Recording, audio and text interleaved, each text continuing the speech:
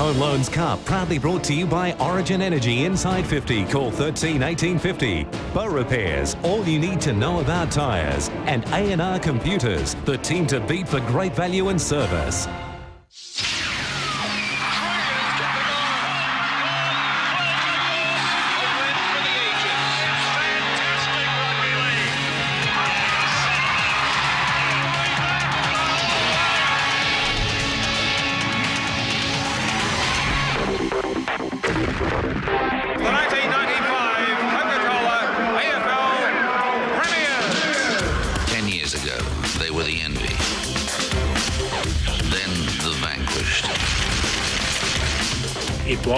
In the business. It's no longer that. There is no room in our game for blatant cheating. Well, I thought it was going to be tough, but when we arrived here, nothing went to plan. Um, it turned into a real nightmare. That was probably, you know, the lowest point of the club. From the darkest period in club history to the rejuvenated Carlton of today. Yeah, we had to make some real hard decisions. The club was going nowhere. A dramatic transformation driven by a new wave of players, attitudes, and a leader with extraordinary vision. I think they've uh, given everybody a bit of hope. Um, playing exciting football at the moment, and we hope it continues um, Saturday night. From the other side of the country come the West Coast Eagles with big expectations. You know, the improvements we showed in the second half of last year will carry on to this year and uh, we'll be better for it. Tonight, will the Eagles be flying high with their first pre-season premiership? Or will the rise of the famous old dark navy blues continue? Yeah, no, the team's definitely started from scratch, and you know we know that we all need to pull together as a side. You know, you will get your money's worth if you come and uh, have a look at this this year. From the Telstra Dome, it's Carlton versus West Coast in the Wizard Cup Grand Final. Good evening, everybody, and welcome to the Telstra Dome in Melbourne on a magnificent night for football. A steamy night. It could help the West Coast Eagles, but the Carlton faithful are here in numbers for what is going to be a fantastic game of football, the culmination of the 2005 Wizard Cup Series. It's the grand final. It's Carlton and the West Coast Eagles. And Dennis Cometti joins me. Dennis, West Coast Eagles, a big build-up in Perth during the week.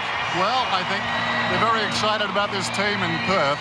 Obviously, they're excited too about them being in a grand final, but this team has got great promise, and we've got to say a typical Perth day and the roof is open. Absolutely. Look at this. The Blues are out kicking around before, lapping on the screen there, and here's the West Coast Eagles. Captain Cousins there, John Worsfold in his first grand final as a coach. Everybody's G'd up. The big names are out there. A lot of people say it's a pre-season competition. Well, as you can see there, they're fired up. They're ready to go. It's going to be a fantastic game. Here's how the Eagles got there. Dennis, you saw a fair bit of this. A tight game against Fremantle and then pretty easy going after that. I think you've got to say, Ed, the only time they were tested was that Fremantle game. Over Collingwood, no problems there. Sorry to say, from your point of view, 51 points. Then last week, they were terrific, demolishing the Kangaroos by 80 points, and the run was there throughout. They really do play with attitude, this West Coast Eagles lineup. Well, we've got a bit of AC-DC game behind us there, Dennis. It's a long way to the top if you want to rock and roll. Well, they're ready to rock and roll now. Please welcome now the West Coast Eagles teams as we see the umpires coming onto the ground.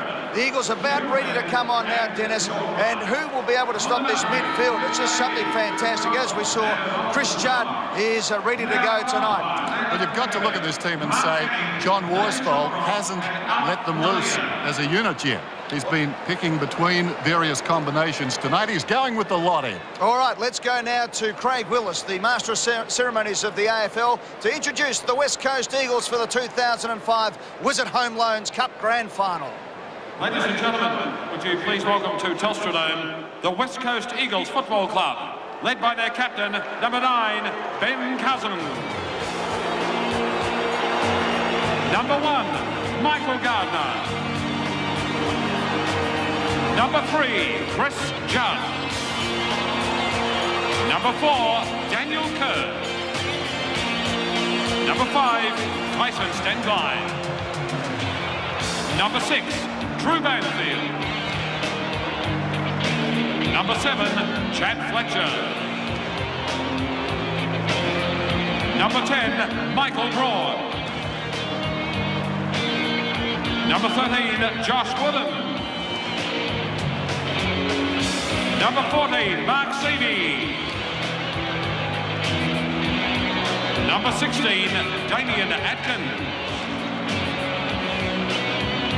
Number 17, Daniel Chick. Number 18, Rowan Jones. Number 21, Quinten Lynch. Number 22, Bo Walton. Number 23, Darren Glass. Number 28, Ashley Sampi.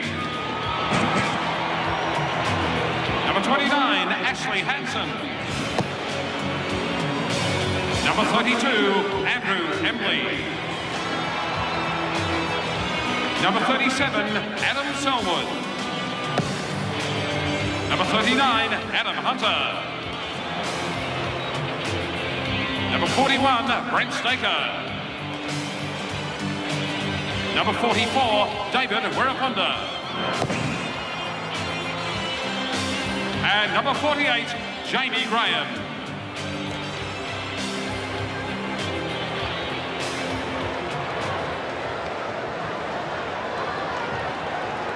As we said, they're playing with attitude. The defence has been very good. Darren Glass at fullback has been a star so far. If you were looking for a player I think, to kick on this year. I think it'll be Glass. Well, it may not be a good omen for them, Dennis, because there's not a breath of wind in the... Uh, the old uh, run-through has fallen to pieces for the West Coast Eagles. They had a bit of work there. The fireworks have gone off. The only positive end could be they scared it. They did. They knocked it down with a look there, the West Coast Eagles.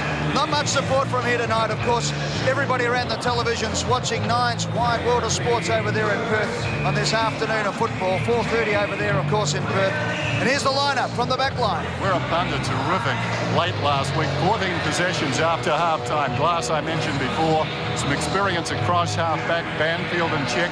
I think Chick is going to have a very good season. Some names back across centre on both wings, Embley and Fletcher. And Braun has been very good. At half forward, well, Gardner. Great to see him back. Sampi has been in blistering form. In the full forward line, Lynch, not the man they were going to go with, but four goals last week, dangerous. Stenglein, great pickup. And how about this Cousins and Judd at foot level underneath Seaby and or Gardner. On the bench, well, any side that can have Daniel Kerr starting on the bench is going pretty well. And I'm very impressed with young Selwood. Yeah a very good player, as you said, Dennis. Plenty of rotation coming off the bench for that gun midfield of the West Coast Eagles. Well, of course, all the talk this week, forget about Charles and Camilla. It's all been about the Stevens family wedding. Nick Stevens will be lining up for the Blues, of course, tonight. But uh, earlier today at the Snowy Mountains, there's Justin and Carmen. Poor old Carmen. Poor old Carmen's had to uh, be upstage all What through the week. week.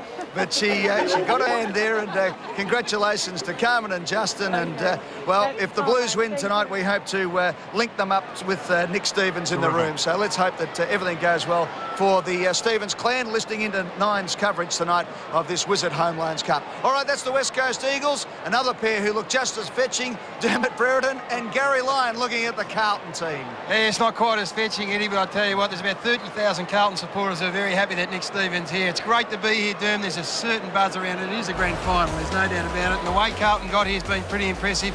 They beat Paps and Underman Essendon by 37 points, but we got a taste of the Fevola and Whitnall showing that carried them through. Absolutely. Look, Brendan Fevola, since he's made his starting position outside the goal square, he's become more fleet of foot, lighter on his feet even.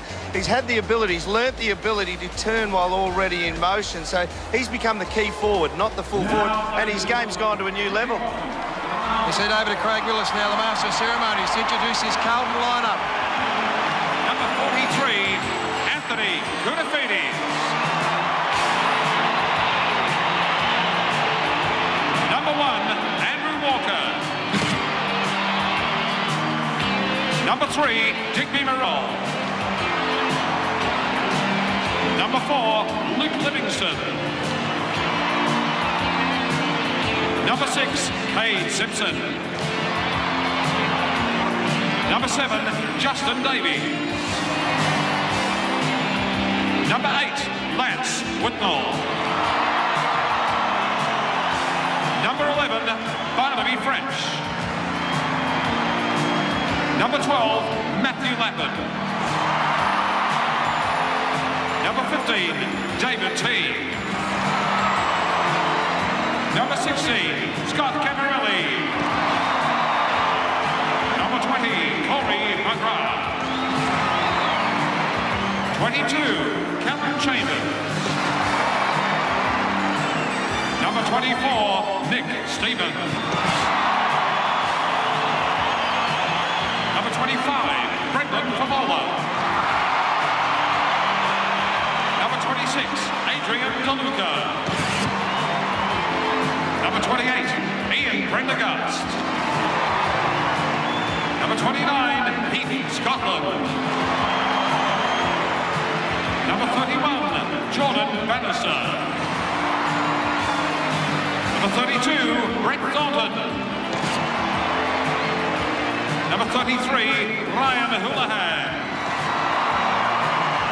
Number 34, Simon Wigan. Number 36, Trent Sporn. And number 44, Andrew Carrazzo. Yes, and not surprisingly, Dermott, the biggest cheer was for Nick Stevens just for being here, but uh, Brendan Fevola, Lance Whitnall all crowd favourites, no doubt about it. Oh, no, they brought the house down with that one. West Coast Eagles, speaking to them also, very happy it's a warm day here. They said they've been training in this all summer, whereas uh, Melburnians have had this type of weather about six or seven days this summer. Yes, as the uh, fireworks go off, it's a fantastic atmosphere here, don't worry. And uh, I tell you, Carlton have been in the wilderness to some degree for three or four years now. Just great to have one of the power clubs back playing in a big game, albeit a pre-season uh, match. As they go for their photo, the lineup, the defence has been underrated in recent years. I think Livingston, they've been waiting for him to fill the shoes of Stephen Silvagni. Every indication he's doing that. A lot of run and class off half-back too, Houlihan and Teague in particular. No doubt Teague will get a job down there. Walker, he's a star in waiting. Scotland's given them true depth through the middle. Callum Chambers has done some good things in this pre-season. McGrath's a great pick-up. Well, Whitnall will return to form. And Bannister will get a run with roll, you'd imagine. Yes, and Matthew Lappin, a surprise selection up forward, kicked four goals last week, was excellent. I reckon Barnaby French has been one of those ruckmen that really benefited from the change in the ruck rules. They've got some young legs on the interchange bench that they can bring on at any time. Young, but also experienced. When you have a look at the last name, named right here, Derm, Anthony Coonaford. He's not a bad number 24 to have in your list. He's a good gear up to bring onto the ground, isn't he? Well, guys, it's just about ready. Let's get it on, mate. Oh, it's going to be a beauty. I know you'd love to stay out here, Derm, but we've got to get back up and join Eddie and Dennis back in the commentary box. Bounce of the ball after this Wizard Cup Grand Final, AFL on 9.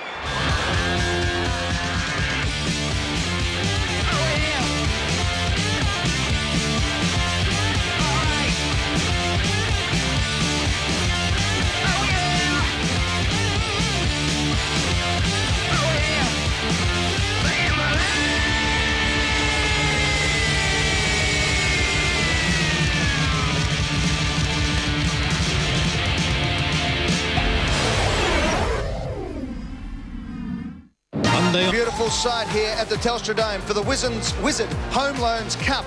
The 2005, the grand final as we get set for the national anthem. Let's go back to the Master of Ceremonies of the AFL, Mr. Craig Willis. Ladies and gentlemen, we now invite you to stand and join with 12-year-old Lizzie Solstrom and 11-year-old Marion Newton to sing our national anthem.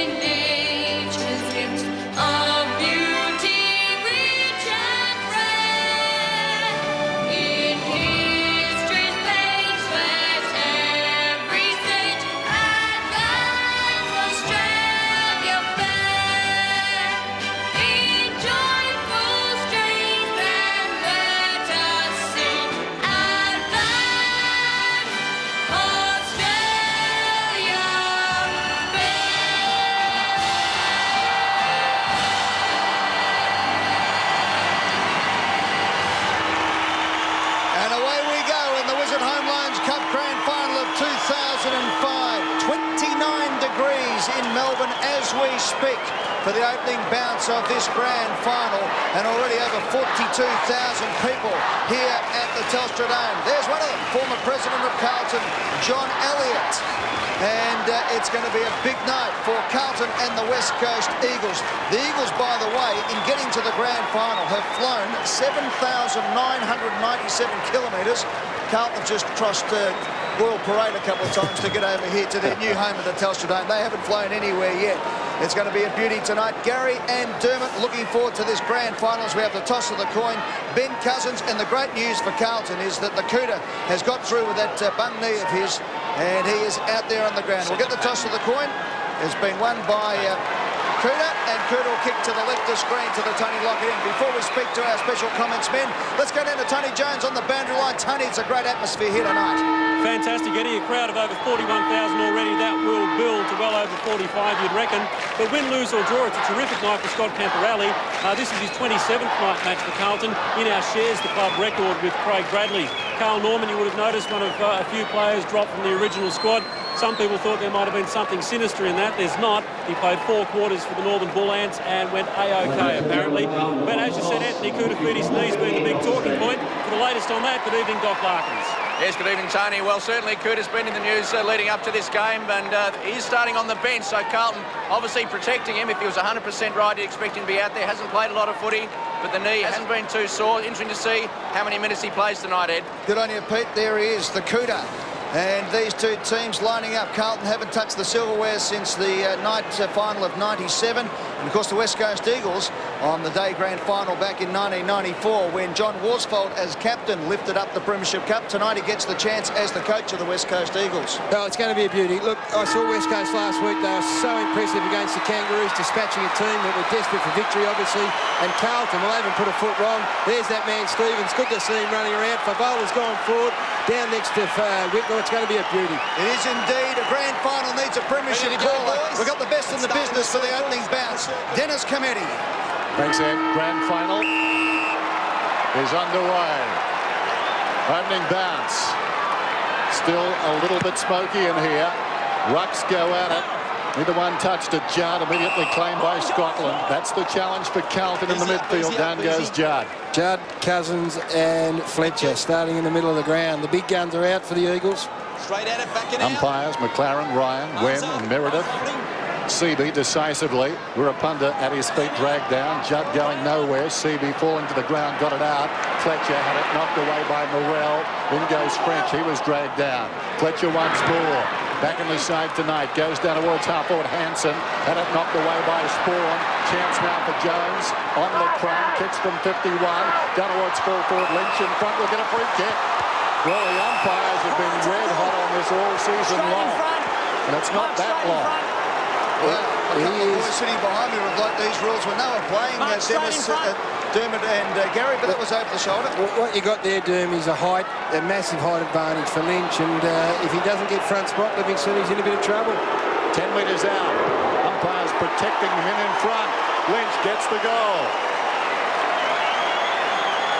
He's a big man. He is a big man. He was very impressive last week against the Roos. He's got uh, surprising mobility.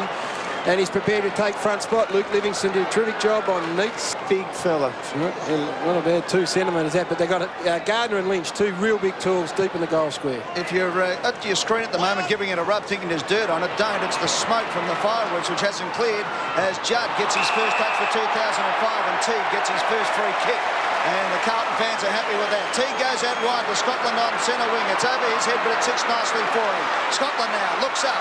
The first option is go to Lappin. Now he squares it up, looking for Whitnall, using the body well. Hunter there for the Eagles. Chick flicks it over the top. Staker around the body. He's got the long sleeves on. He must love it. A hot night, the boy from Broken Hill, Dennis. The handball, though, was indiscriminate. Here's a chance for Bannister for Carlton. Who goes short. Lappin goes high. Couldn't get the ball. Now it's picked up by Cousins, and Wirrpanda clears for the Eagles. Hunter did well in that situation as well. Fevola taken high. Should have got a free kick. That's a good won't call. be happy. That's a good call, Dennis. If you're going to pay it down the other end, there was nothing, uh, nothing dissimilar about that. That was straight over the shoulder and retarded, grabbed over the uh, around the neck. Andrew Walker running with Chris Judd too. That is a big ask for a young man. Boundary throw in then. A whistle off the ball. It's going to Walker. Yeah, he was a tight tag on Judge. Embley went and blocked his run. That was a free kick. Inside the 50 off right mark. Whitnall. 40 metres out directly in front, so he should have. Be very slow to put the well, blow a bit of air through the whistle in the end. He wasn't going to do it. No. He was not going to pay this. Not sure he controlled it long enough. But uh, yeah, Andrew Walker on Chris Judd. So apparently Andrew Walker, young man, only in his second year of AFL footy.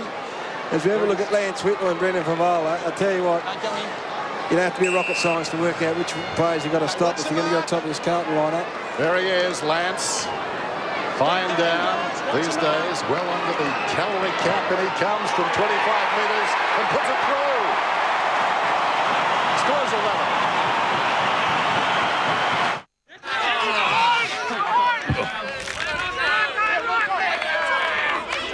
Don't worry, boys. I'll get you around.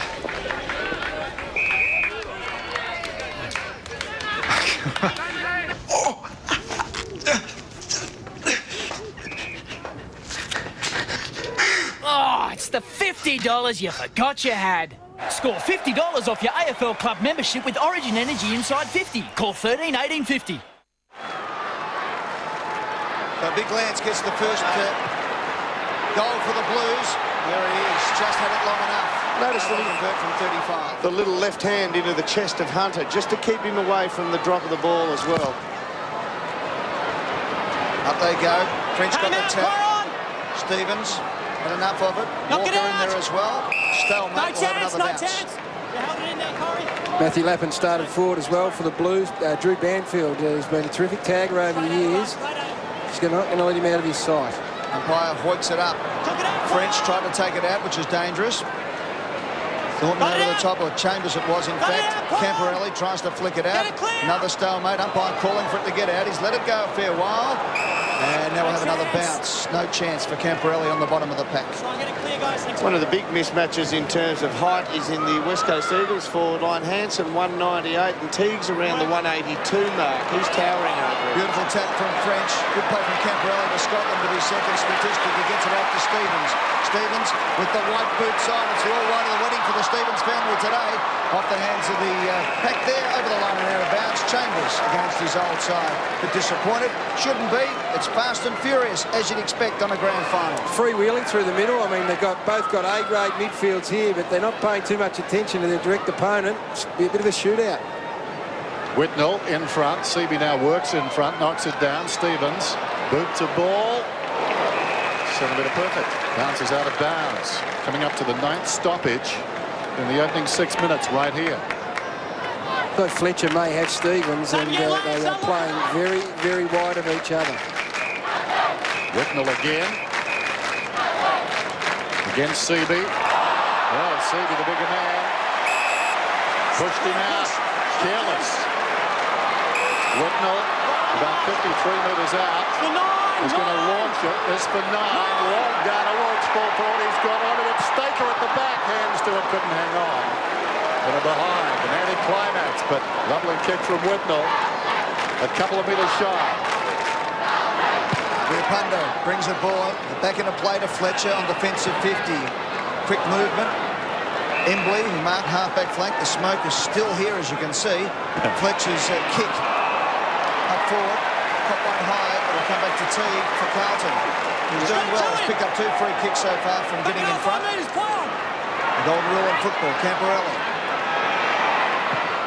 Long looking for Fevola, who's got the sit. Edged underneath it. Glass. Flicks it out, almost a throw.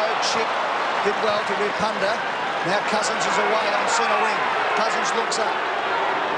Jones wants it kicked to the 50. Runs the ball in. He wants it back. Cousins and gets it. Good play. Had to stop and prop a little bit, but now he kicks it long. Up towards the full forward zone. Getting in front was Lynch. Was he held? No, said the umpire. Lynch grabbed his opponent and will take the free kick in the back pocket for Carlton. Now watch these midfielders break and break hard. Because they're not tight tags at the moment, they're finding an enormous amount of space. Ball to Camporeale. Now Houlihan is running. Up to right half back, still going. Nobody coming to meet him. Houlihan kicks beyond the wing and French. Runners either side. Will he lay it off? No. French will kick inside the forward 50, setting it up. Whitnall opposed to two. From behind, a big fist from Hunter. This is where a Wirrpanda. Swings it out wide, stemmed line. He's at right half back. Cousins is on up the ground. He's got it now. Nobody near him. Cousins is running. Jones offers a lead, comes to him, doubles back. Cousins kicks over Sporn and Jones and hits the lead on the chest. Gardner. Dermot, Gary, I'll be keen to get your thoughts on the setup on uh, Whitnall and Fevola at the moment. They're doing reasonably well, but Cousins is just running off Scotland, and Yeah. that's where they're using. Uh, here, Scotland is great going forward, but sometimes can be exposed going back the other way. What's actually happening is that he won't enter the back line. Scotland will, will not uh, will push into the back line. He relies on coverage, but he's not getting it on the rebound. Gardner, good effort. Sliding it across the face, but came off the post and stayed in tantalisingly, and then Houlihan takes across. Not Robinson Crusoe, though. I mean, that, as I said, I've said a couple of times, they just aren't playing tight through the middle of the ground. They're prepared to let their guns run and so you can get the most positions, the most effective ones. Lappin transfers play to the outer side. A beautiful kick. Chambers inside. Gets the handball going to Carrazzo. Carrazzo offloads in the white boots. There's plenty of white boots out there tonight. Should we remembered Sam Newman and Phil Carman, you'd be flat out remembering all the boys in white boots tonight. Here's Chambers. He's doing well in his first game against his old side. Oh, well Hard at it, Sampi. He wanted the ball. Good play over the top from Bannister. Held it in. It eventually spills to Embley from Fletcher. On defensive 50. Has it bounce. Digby Morrell lined him up. Didn't quite get him. The kick from Banfield was a oh. beauty. Just squeezed it out. Stenglein. Away he goes to Seaby. Seaby up forward looking for Hanson. One grab, two grabs. Beautiful mark. And young Hansen will go back and kick for six points just inside the 50. This style of game, if it keeps going this way, I can guarantee you right now, it will be the winner will make the least amount of mistakes. Don't worry about who plays well. It's just players running everywhere, very congested, but they're not actually playing hard on each other. It's just who kicks the ball the best to their teammates. Make less less amount of mistakes, you'll win the game. Scott Camporeale hasn't been near a player tonight. Hansen comes in. From outside the 50, it's only worth six. We'll only get one with that one, though. And through for a point. Tony Jones, boundary side. Well, just a little bit of confusion in the Carlton camp, Ed, with Lappin and Scotland having a few words in the middle. It was quite a uh, animated debate there as to who's actually picking up Cousins. Camporeale gets it back from Scotland. The midfield, Morrell. Too slick for Houlihan, dropped it. Now Morrell's got a problem. Could have been taken high. Stake it cleverly. Fletcher controlled it well. Attracts the crowd. Was that too high? Threw it out. Straight back to Ryan. Ryan's kick. Houlihan gets the free. No one likes beating the bloke who has to pick up Cousins Oh, no. on the way back. Very hard to go and stand on the mark of a bloke kicking for goal, too. Similar to that. Towards half forward. Banfield did well body to body with Lappin. Lappin's been in rare form. Short one from Banfield, rather untidy. Fletcher comes back to Banfield, back to Fletcher. They're conceding ground here. Embley across half back to the West Coast Eagles in two minds, maybe three. Kept his head though. Did well, Dennis. Yep. He was very composed then. Banfield's got it now. And that's what I say. If you hit the target here, you're going to get out of trouble. Now they have to hold it up. This one must hit a target. He's going to be forced to kick long down the line. Well, he wanted Or to go turn down the line, but he miskicked it, so it went short down the line. Over the top was Jones. Should be gone. No umpire let it go, which was good umpiring. Teague now. Kicks up to oh. Whitnall. Has got away. Lance has got it inside 50. That was that turnover, Ed. Yep. Turn the ball over, and it's going to bite you on the backside twice as hard. One, to, well, we already saw. Free kick, shot at goal. Turnover, another shot at goal. Both of them in the hands of Lance Whitnall. Even given that, Derm, and I agree with you 100%, Adam Hunter is taking a massive risk Yeah, on playing 25, 30 metres, hoping that they win possession in the middle of the ground. When you've got a bloke like this who's absolutely red hot, don't go taking those liberties. I was It, about to it almost looked like a team strategy, though, to take these risks and try and run them into the ground. Well, Cousins is loose at one end. Hunter is running off Whitnall, and twice it's rebounded to Lance's favour.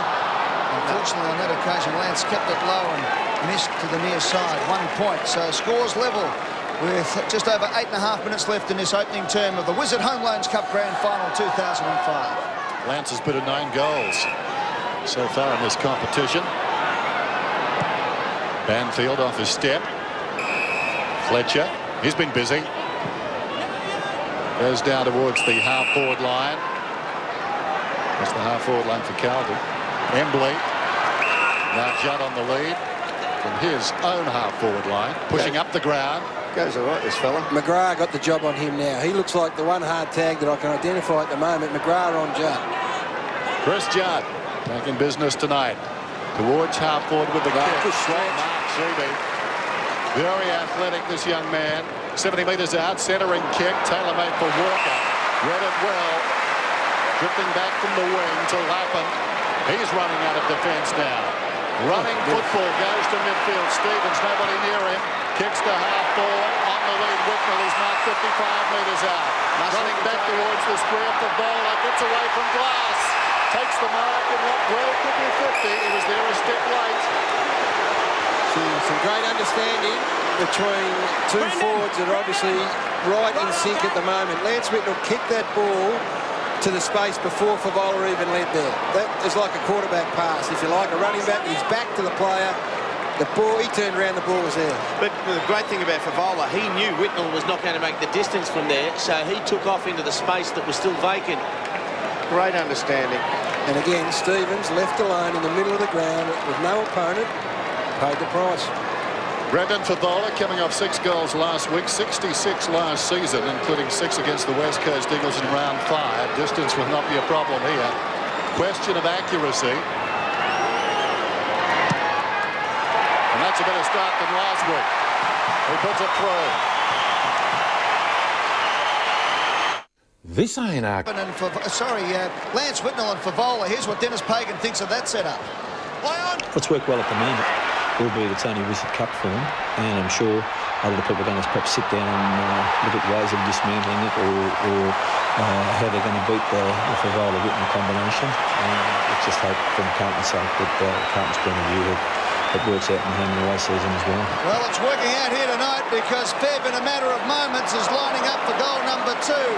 Lance has kicked one, Fevola's kicked one, and they've combined beautifully on one occasion. On this occasion, though, it was Stevens kicking long. for Fevola all at sea, got back, used his body, used his knee, used the lot, and now is lining up 25 metres out directly in front to give the Blues a 12-point lead. Throw your stat book out the window. They are irrelevant stats. Fevola comes in. Big moment for Carlton, dragging themselves from the depths of despair over the last couple of seasons. Big crowd in here tonight at their new home ground, and the Fev slices the middle. Carlton by two goals.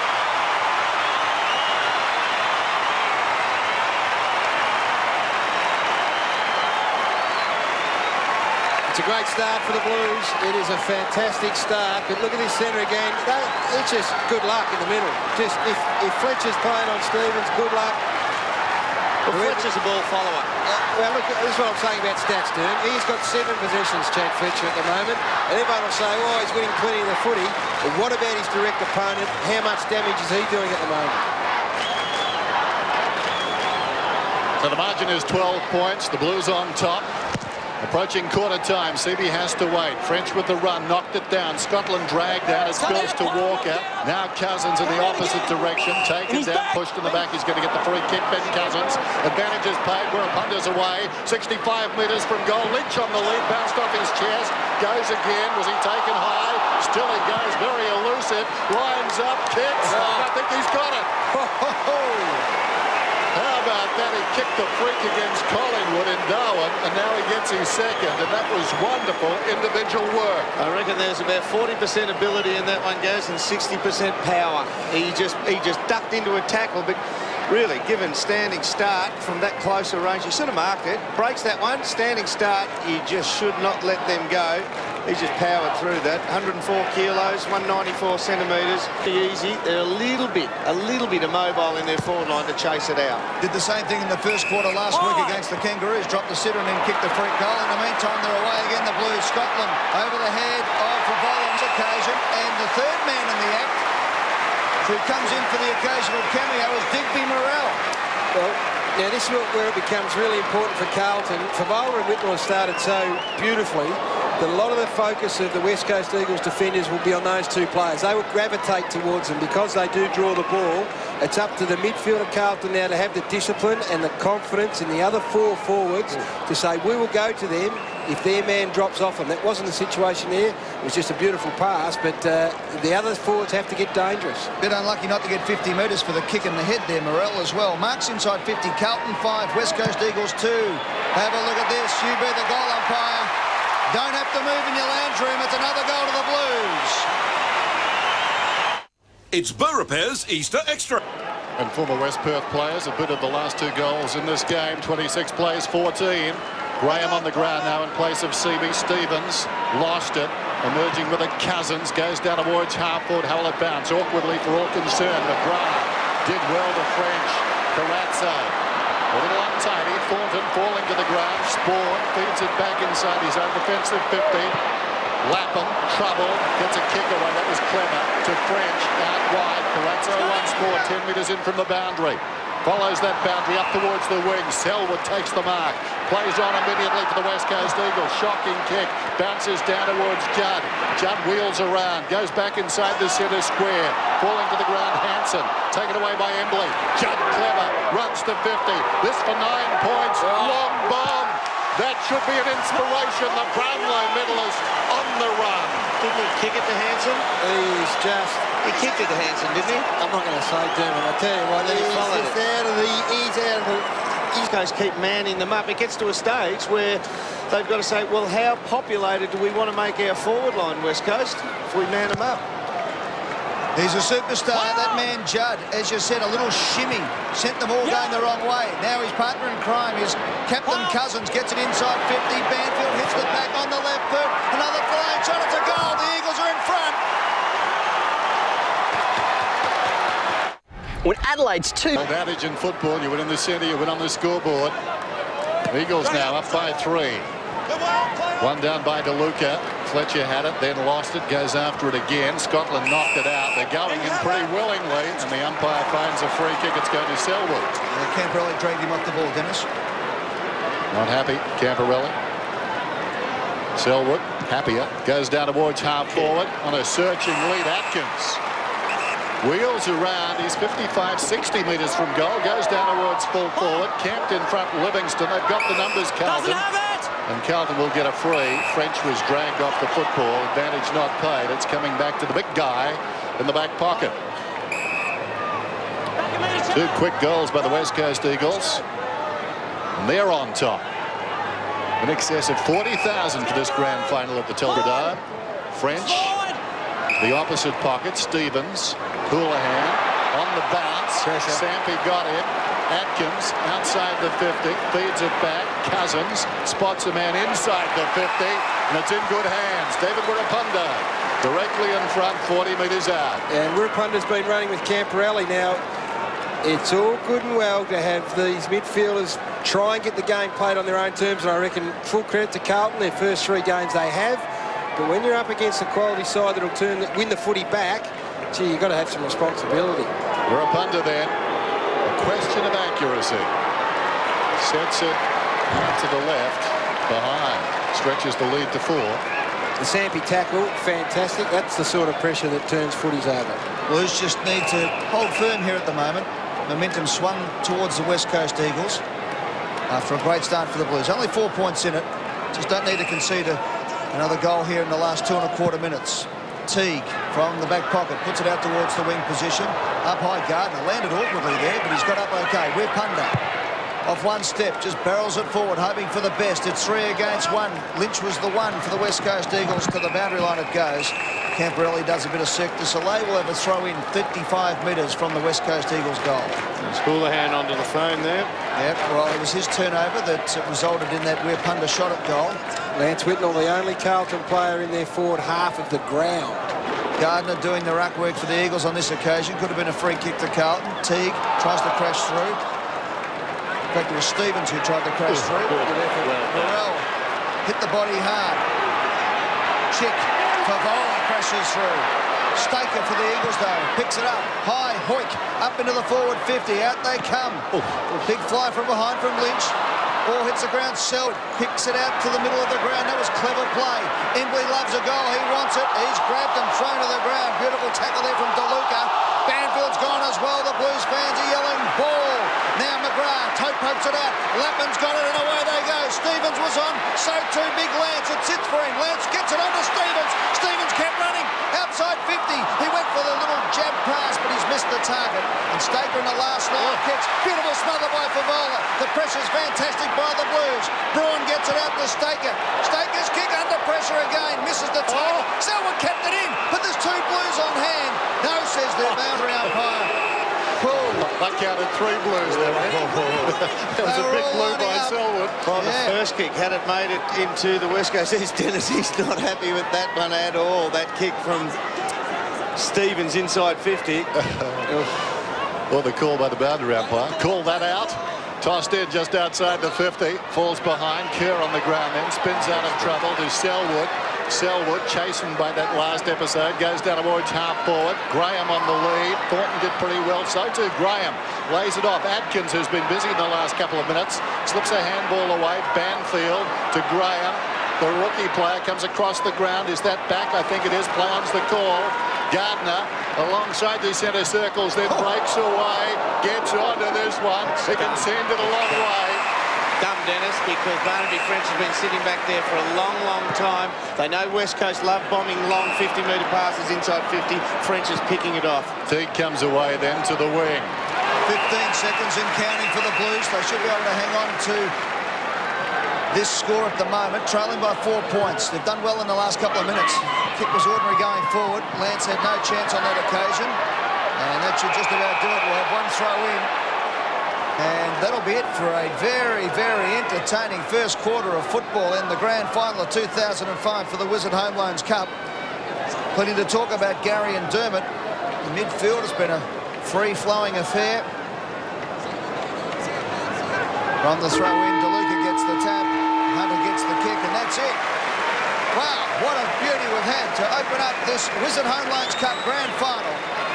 Big crowd in at the Telstra Dome. Carlton the 4-2-26. A super goal to the Superman of football. He's got the red boots on tonight, Chris Judd, the Brownlow medalist. And three goals and three behinds sees West Coast lead 30 to 26 when we return for the second quarter.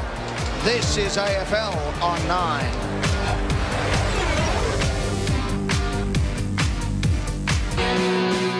Around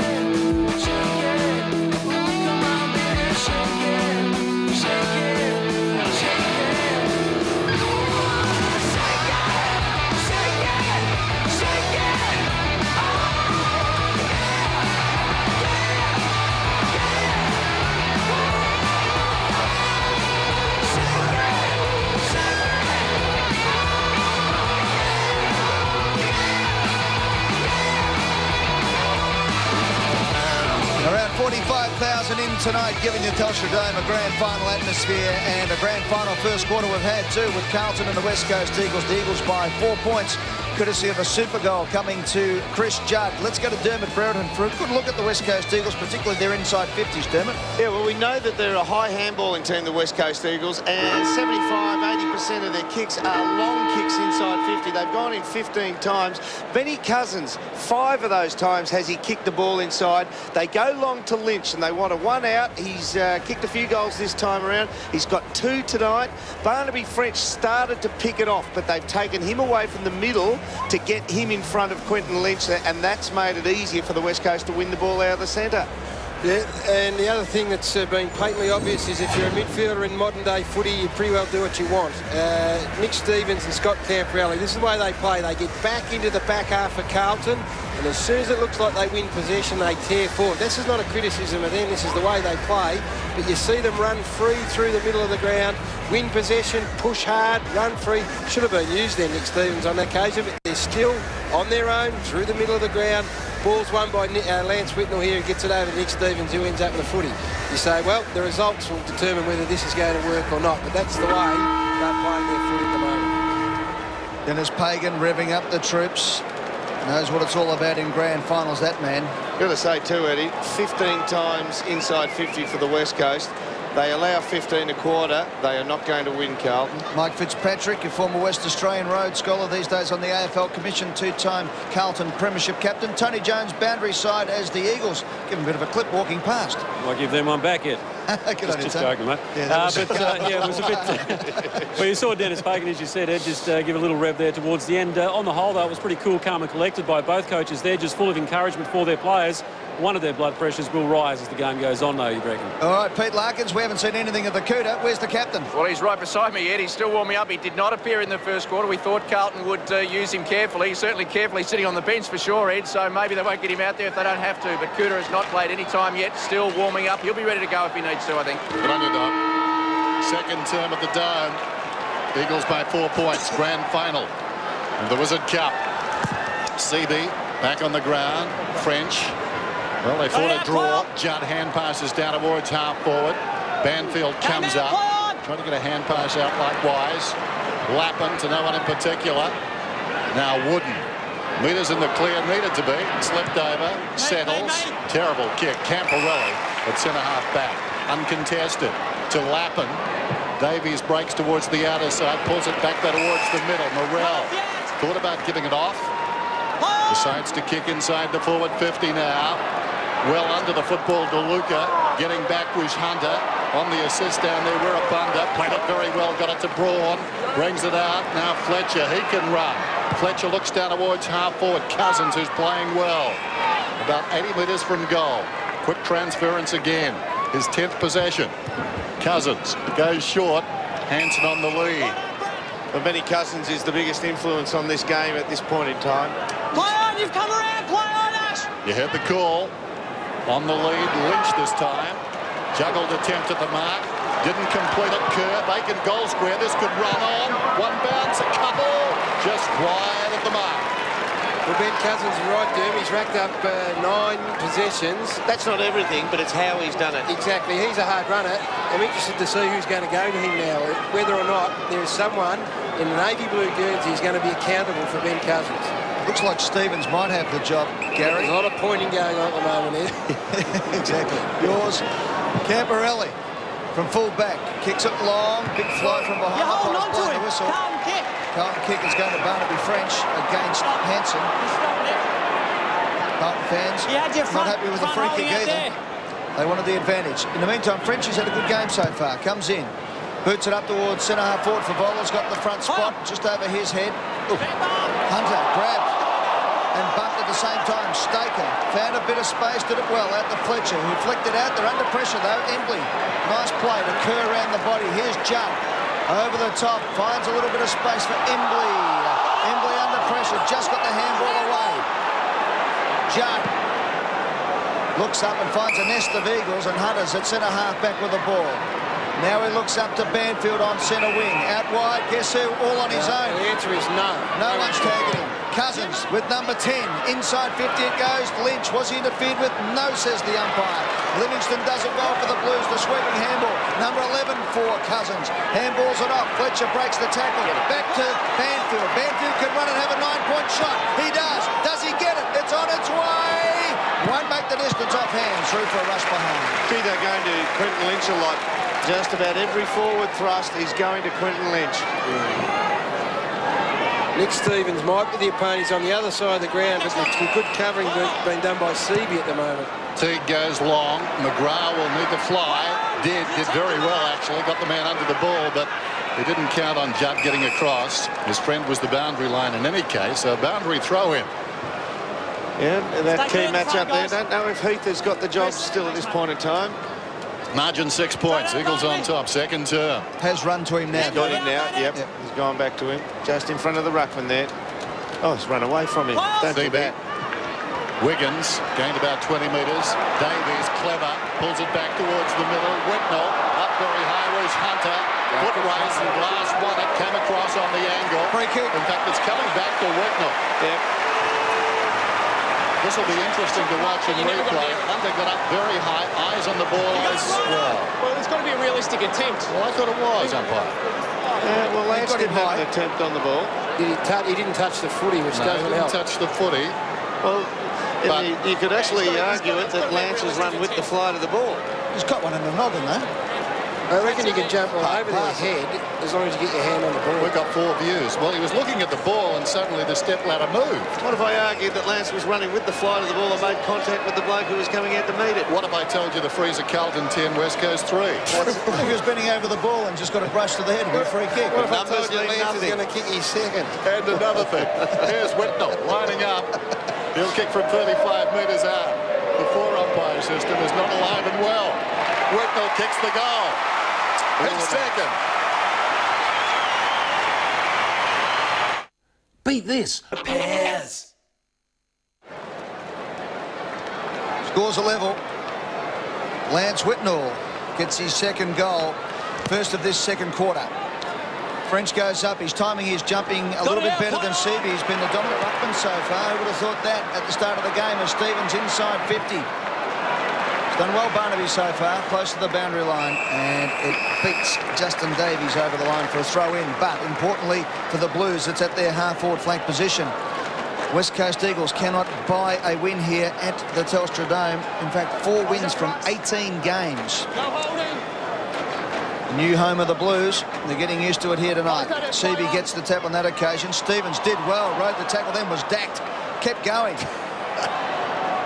Showing class and a bit of luck.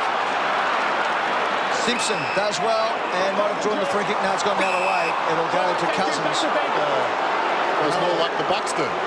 it was.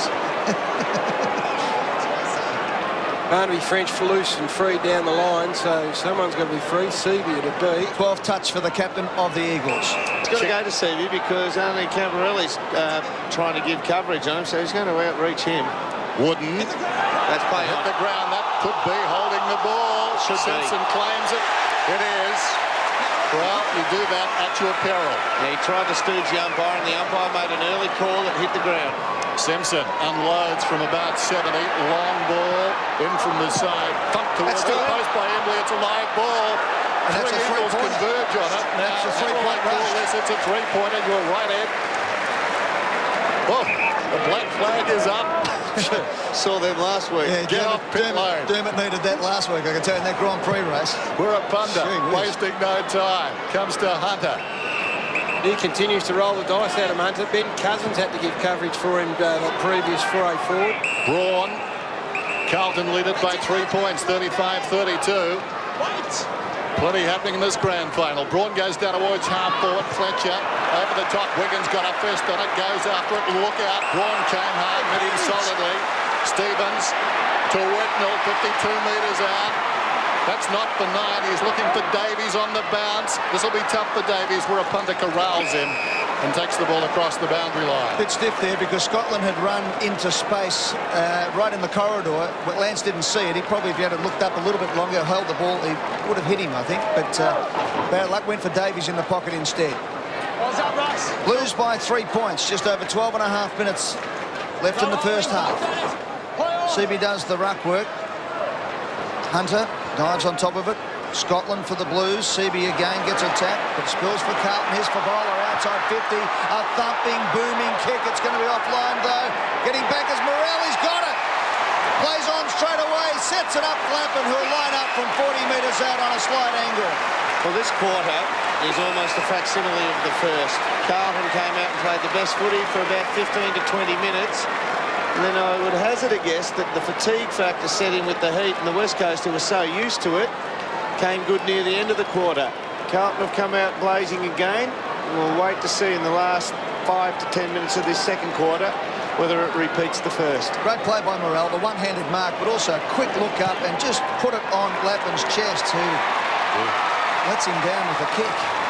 Well, he spent more time in the back half, Lappin, because Banfield went forward on him and kicked the goal and uh, had a hand in one other, but he just, if he does go forward, he's got to take those opportunities. Dropped the ball from outside of his uh, line of his foot then, looking at the action. Still 28 degrees at the Dome. The roof is open. Wirrpanda. He can't kick it. Tries to put it through the roof, up towards midfield. Down goes Bannister. Wooden trying to back out of the pack. Bannister on his knees. Heard the voice, Camporeale's. He goes from 60 down towards full forward in front for Bowler. Loose at the back, Davies. Can he keep it in? Not sure. across the line now. It ricochets. Thank you, Nat. Off for a pundit. Davies asked the question, did that come off a leg? And so did that gentleman. Well, he's an independent observer too, Dennis. So. Yes. we value his opinion. But anyway, we've got a boundary throw it in the pocket. Dangerous situation for the Eagles. Need to hold here. They trail by four. CB knocks it in front. Whitnall at close quarters to McGrath. McGrath hurriedly towards full forward. Wirrpanda breaks away. Hansen is running towards the wing. That's ignored. Embley's got it. At centre half back. Andrew, watch the arm. You heard the warning. Fletcher, barely 15. Play on's the call. Fletcher going towards half forward. Jones on the ground, runs hard, takes the mark to Braun. That'll be Lynch. Spots Wooden and or Lynch. Yes, he goes to the longer option. Bounced off his chest again. He's obviously wearing a bouncy flak jacket. They scramble about 40 metres out. We'll have a ball up on Harmony Day. Things are warming up at the Dome. if Lynch ever becomes a one-grade player, he'll be a superstar. Oh, oh, absolutely. David Teague is an interesting player. He won the best appearance last year. Just can be exposed on a long, hard leading player. He's got it there. Well, Stevens, in fact, it was. One of the great things about David Teague, Gaz, he knows his limitations. He's a smart footballer and he plays to them. Well, He's got to know them, then. Up, to the oppo- up the opposition then to try and expose it. Robertson got a hold of him here a couple of weeks ago. Exactly, Dennis. A man's got to know, Dermott. That's right. His limitations. kick, guys. Just watch the footy. Dermott's favourite movie of all time. One of them. Cool Hand Luke. Well, certainly one that you can actually get off the racks in a video store, Dermott. As the ball goes out to the wing position. Push. Punde has pushed Davies in the back. That was dirty Harry there. Frees a 14 to 4 to Carlton. Davies inside 50 for Vola. Morrell at the oh, back. Ooh, a little fingertip on it was enough for the Eagles. Fletcher to Staker. Staker does the U-turn. He's in trouble. He's gone. He threw it away. Umpire called play on. Fevola from the pocket. Has kicked the ripper. Well, justice. Justice because the free kick had to be paid. I mean, he had all day, Brent Staker, but Fevola was good enough to continue second, third effort. That's what would be pleasing to Dennis Cragen as much as the goal. That was that fleet of foot status that he's got at the moment. See how he's able to turn there? As a full forward, he's used to being on railway tracks, but there, that is great stuff. His balance, his ability to get laid the tackle. And I'll tell you what, Brent Staker, if, there's, if there is a criticism, it is that sometimes he lacks the urgency required. Now, he is under real heat there. And it was, a, as I said, dead set free kick. Camporeale for Vola, great double team, but they got the result at the end. A beautiful, beautiful conversion. There's something very special about Brendan Fevola.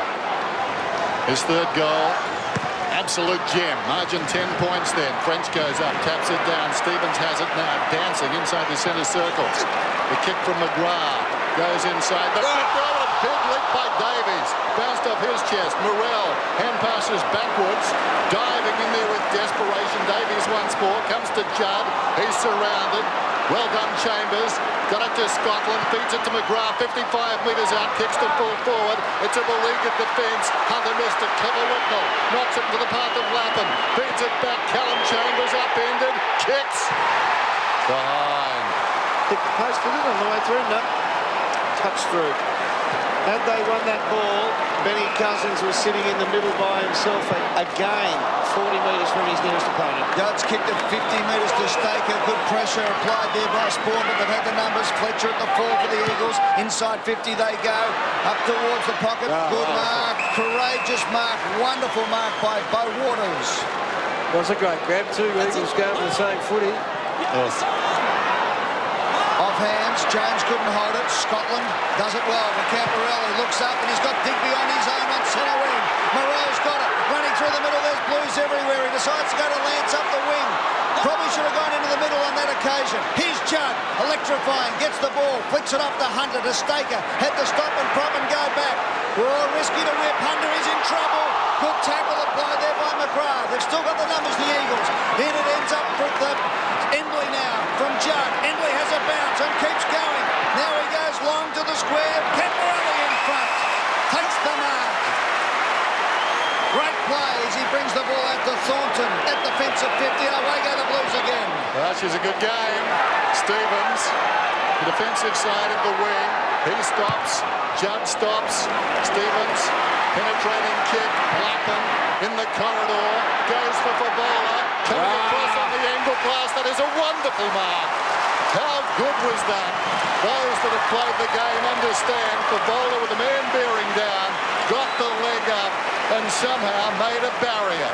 It's as much about timing as anything else. It was courageous to stand your ground, but just the timing to get the foot up at the right time, to launch himself, to give himself an extra half a foot. Oh, yeah, that's going to hurt. To get two stats for that, I think, Doom. Oh, yeah. And entitled to do every single thing that he did there, Brendan Yep, Fevola. absolutely. You've got to be able to protect yourself. Big kick, Dennis, for Carlton, this one. Yep. 11 points the difference. Fevola continuing his great form. He's got three so far. Whitnall to the bench for a rest. But Kouta, not the man who comes on. It's Prendergast. Meantime, Fevola got one on the run from further out. Gun barrel stroke. His fourth. Head over the ball. Kicking.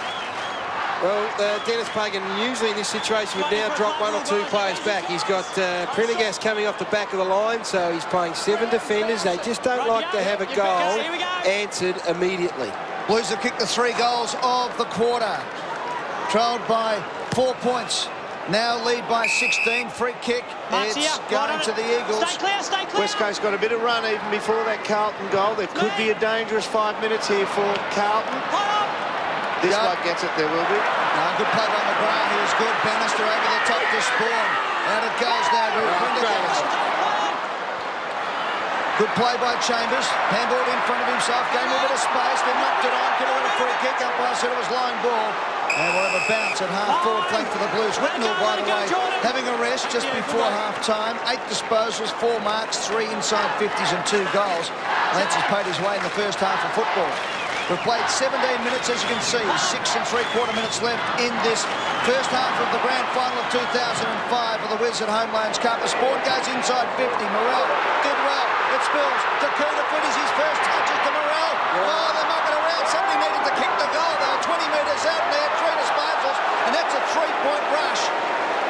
So something out of nothing there for the Blues. But an easy goal, mucked up. Kouta probably should have kicked it. Yep. Oh, what were they thinking? Just tossing it around a little bit too much, but Banfield slipped and a three-point rush. They can't get through half forward, the Eagles. They just clogged them up at the moment, the Blues. Banfield got it from Fletcher towards the wing. Atlas getting a free. You put one arm into him. Well, the problem with the Eagles at the moment, that potent running machine of Kerr, uh, Judd and the likes, they're all forward of the ball. You've got Fletcher side on, and you've got Cousins side on. There's nobody to come in from behind and run with it. Braun.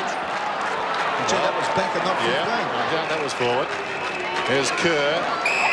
Hasn't seen a lot of game time so far. He's on the wing.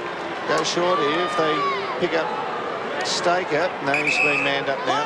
Margin is 20 points. Just under six minutes till half-time. Hansen up in front, missed it. Jones tried to lay it off the Judd. Too slick. McGrath did brilliantly. Chambers against the flow. Lappin bounces off a teammate. Sends it out on the bounce to Camporeale at right half back. Goes towards the wing. Stevens. Well done, Braun. Got a fist on it. Knocked it out of bounds at the interchange gates. Just got it back on their terms a bit, the Blues. That's what they've been able to do. Get the numbers back behind the footy, in their back half of the ground, then work it forward. Just Hansen and, and Fletcher and Seaby haven't, and Lynch haven't had a chance to get their hands on the ball. Jones has come off. Sampi comes on, and yeah, he gets manned up now. Gardiner knocks it down. Fletcher. Now Selwood. Lappin hurriedly towards half forward. Awkward bouncing football. Davies brilliantly done. Camporeale for Bola. Unstoppable there.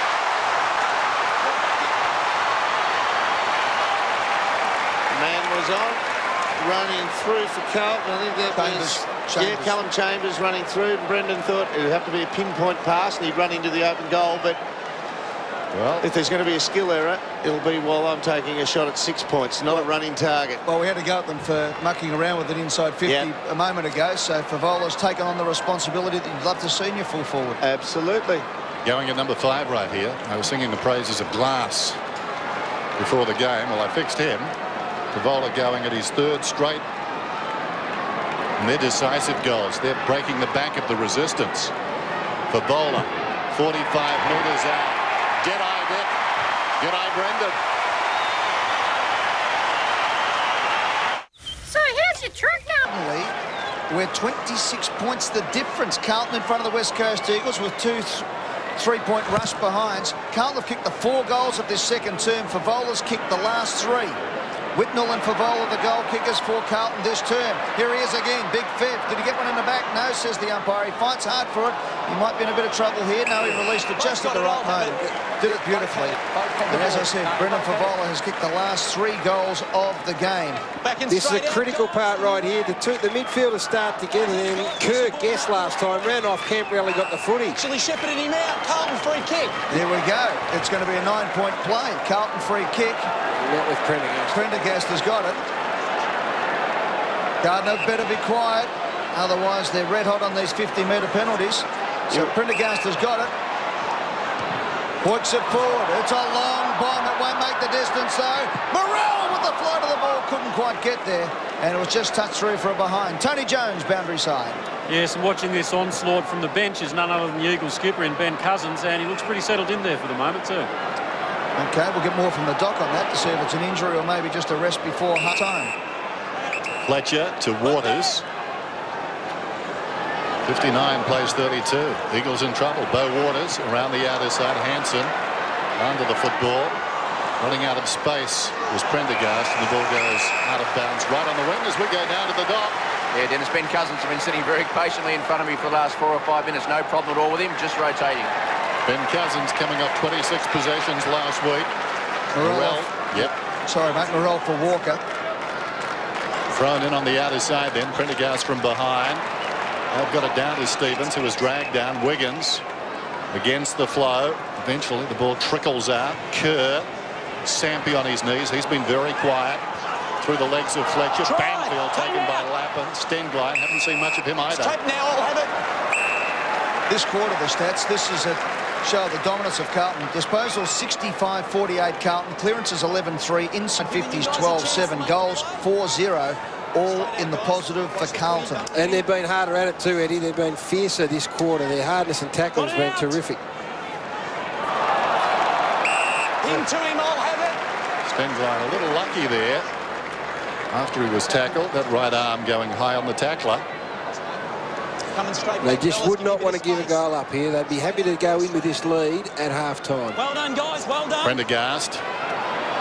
Now Stevens. Koutoufides. Thornton. Across the ground. Was it forward? Not sure. No whistle. Stevens. Doesn't matter. Kicks to the wing. Houlihan takes a while. Kicks inside the forward. Downfield. Well, I'm not sure about that one either. After he's kicked it, you've run him into the back. I reckon he had such momentum, Drew Banfield, that Followed it through. he, he did everything he could not to fall into his back. Guess who? Have this down the ground. Let's have a look at it. Watch him throw his arm there so oh, he doesn't. Didn't ride him either, did he? No, he did everything Looked in his after him. power. Probably should have ridden him. Got value for money. He, and now he'd be thinking he should have. So Fevola looking at six before half time. Free kick 16 Carlton, 7 West Coast Eagles. He has kicked a bag or two at night, Brendan Fevola. Got a 12 once, didn't he? Yep. Hmm. No, no, I've no recollection of that It moment. blocked it out of the memory. Oh, don't talk about last century. Attach the electrodes. Get his memory back. So they had the six downfield. Fevola should kick it from 25. Nine pointer. Yes, you saw where the free kick was paid. So this will really test the Eagles if he gets it, and you'd like him from there. Hits the post, it's a live ball, still a live ball. Wirrpanda kicks into the oncoming Fevola. That was great work by Fevola, and now free kick to Davies. Push them out.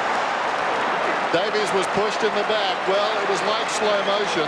Everybody, bar Fevola, followed up his own kick. Quick thinking. Had a bit of spring in his step because he would have been kicking himself for missing the nine-point shot, which would have made the difference 35 points. Wow. So Davies in the pocket. He's been handy. Clever hands across half forward. Put on a bit of weight, as you can see, from last season. Some of these youngsters quite exciting for Carlton. The future looks rosy. Davies from about 25 metres has missed to the near side. So just a couple of opportunities going begging late in the quarter here for the Blues. For Fevola for nine points, Davies for six. Out of all that, they get one. But they lead by 28 points. And that's a very, very handy lead. It is warm conditions here. Doesn't matter about the Eagles being over there in Perth, Dennis, when you're chasing tail all night. It gets hotter, Ed. It gets hotter and hotter. Like me chasing you up the stairs. From you the were slippery. You were, you were a lot quicker than I thought. Showed a bit of toe deceptive, Dennis. Or maybe your knee is gone. Judd takes the mark just inside the boundary line. We're inside the last minute. West Coast Eagles haven't been inside 50 for nine minutes. Haven't looked like it this quarter. Judd kicks it up to the half-forward flank. The Blues, having missed a couple of late opportunities, don't need to concede one here on the bell. Selwood gets the handle into Wooden. 36 seconds. Now they go inside 50. Out comes Lynch. He's got it. Well, this is a huge kick for the West Coast Eagles.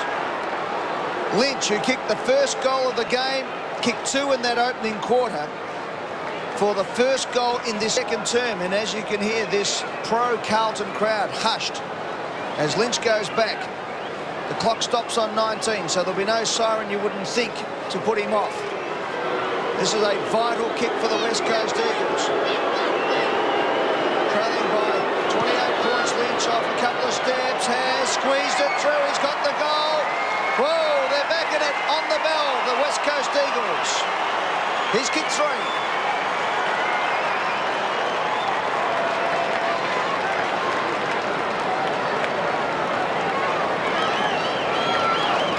So five seconds left on the clock. Let's have a look. Was Judd out of bounds? Geez, I think that's a near thing. I would have thought that was just about over the line and out of bounds. So a bit of luck going the way of the West Coast Eagles. And it's a funny thing, Dennis, in football, how uh, you miss a few opportunities and it just fate, the fickle finger of fate gets against you, doesn't it? Yes, it's almost a rule, isn't it? Comes back and bites you. Dying seconds of the term then. 38 players, 60. Good bounce. The base of the pack, Bannister claimed by Embley, and that's it. The first half of the grand final. And against all odds, who would have thought it? Going back a month, Carlton making the grand final as it becomes a little hotter adjacent to the centre circles. There's the star in the first half, Brendan Fevola. So lively. He's done everything on the forward line. He's really hurt the West Coast Eagles, who led by four points at quarter time, but now they trail 38 to 60. We'll be back with more right after this. For a rebate on your AFL Club membership, call 13 18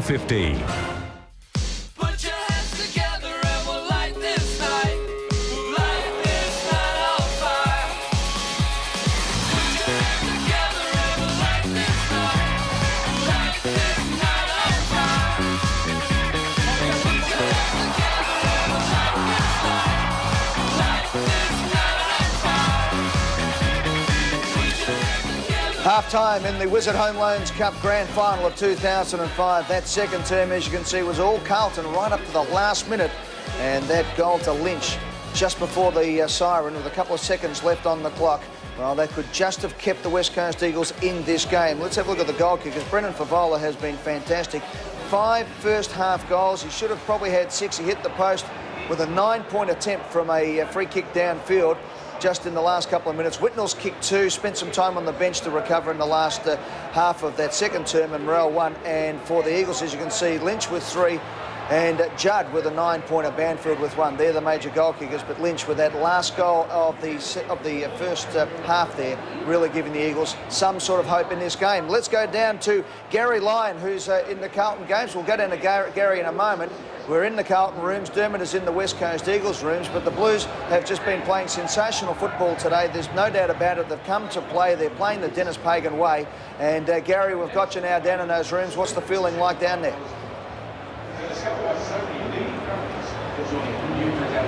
Some trouble just with Gary at the moment. We'll get to him in a few moments' time. Well, it's uh, been a fantastic result. Let's have a look at Brendan Fevola. What a game he's had. Five goals to half-time. As I said, could have easily been six, but let's not dwell on the negatives. What about the positives? Not only has he been running hard, but he and Lance Whitnall combining beautifully. Always a propensity for a two-pronged forward line to get in each other's way, but these two have been fantastic. Fevola there, uh, taking the mark, kicking the goal. Stevens with a, kick, a quick break, backing back. It's not as if it's coming easy for Brendan Fevola. He's worked very hard. Look at this one. Great play. He lays one tackle. He lays a second tackle. Does enough. Then he goes a second time, gets it. When you'd expect the play to be running out of puff, Fevola puts the foot down, and then from just inside the 50, from the boundary line, he slams it through. He's got plenty of gas left to celebrate as well. Great stuff by Brendan Fevola. And as we see another one coming through here, Lappin again gets it long. for Fevola stands his ground. Not only does he take the mark, but he fixes up glass at the same time. And there's his fifth one as well coming through.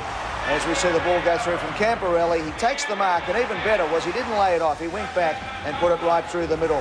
A miss in the last couple of minutes there was the only blemish for Brendan Fevola, but he's on fire with five goals. Let's go to Gary Lyon. We've got him now in the Carlton rooms. Gary, what's it like down there?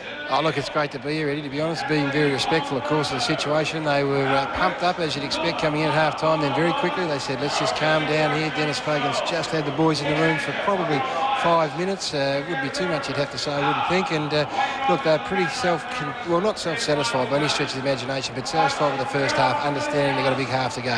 Lance Whitnall been fantastic as well. Had a good spell just prior to half-time. His, his work alongside Brendan Fevola has been a feature of the Wizard Cup all uh, all season. And then again, they've come out of the blocks tonight. They've been fantastic. He's just such a smart player. The understanding between the two of them has been exceptional, as uh, as we've come to see over the past month or so. We did say during the call that Hunter took a few risks and played off Lance, perhaps trying to draw him out of that dangerous area. But gee, when he's in that sort of form, I wouldn't be doing that. And that's just uh, that's just a man that's confident in his teammates, of, of getting the ball and, and disposing of it in the right manner.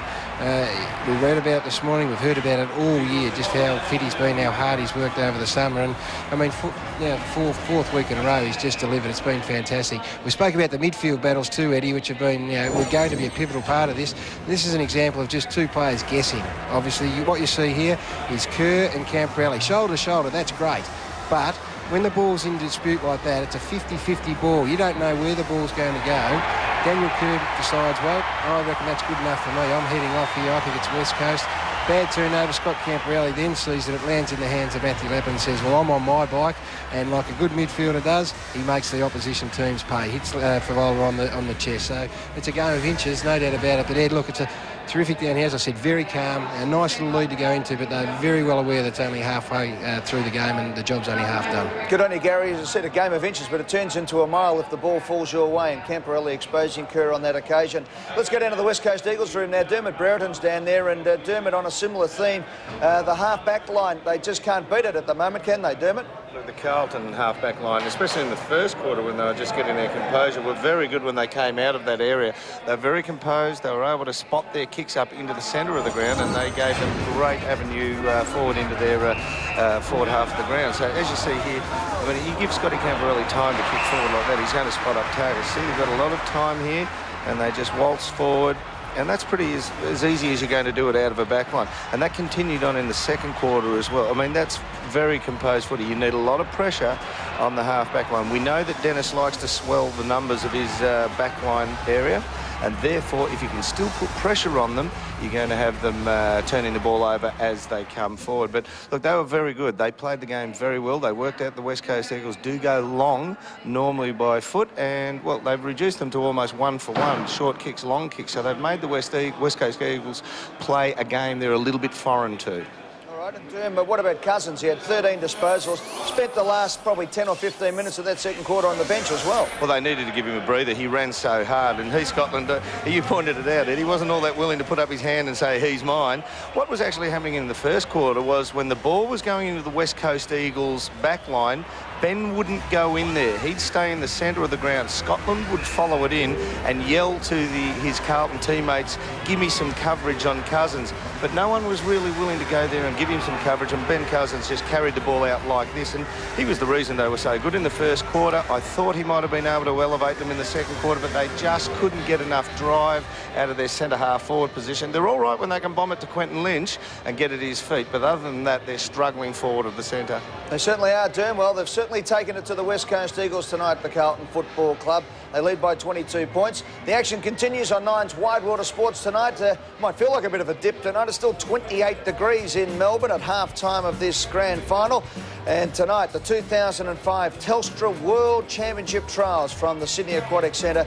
The World Championships, of course, are coming up later this year and a big build-up to the Commonwealth Games next year. It's 10.30 in Melbourne, 10.30pm in Adelaide and 10.55 in Perth tonight. That's the 2005 Telstra World Championship Trials from the Sydney Aquatic Centre. We'll be back right after the break here at Telstra Dome in Melbourne for the 2005 Wizard Home Loans Cup. At the moment, it's Carlton leading the West Coast Eagles by 22 points. This is AFL on 9.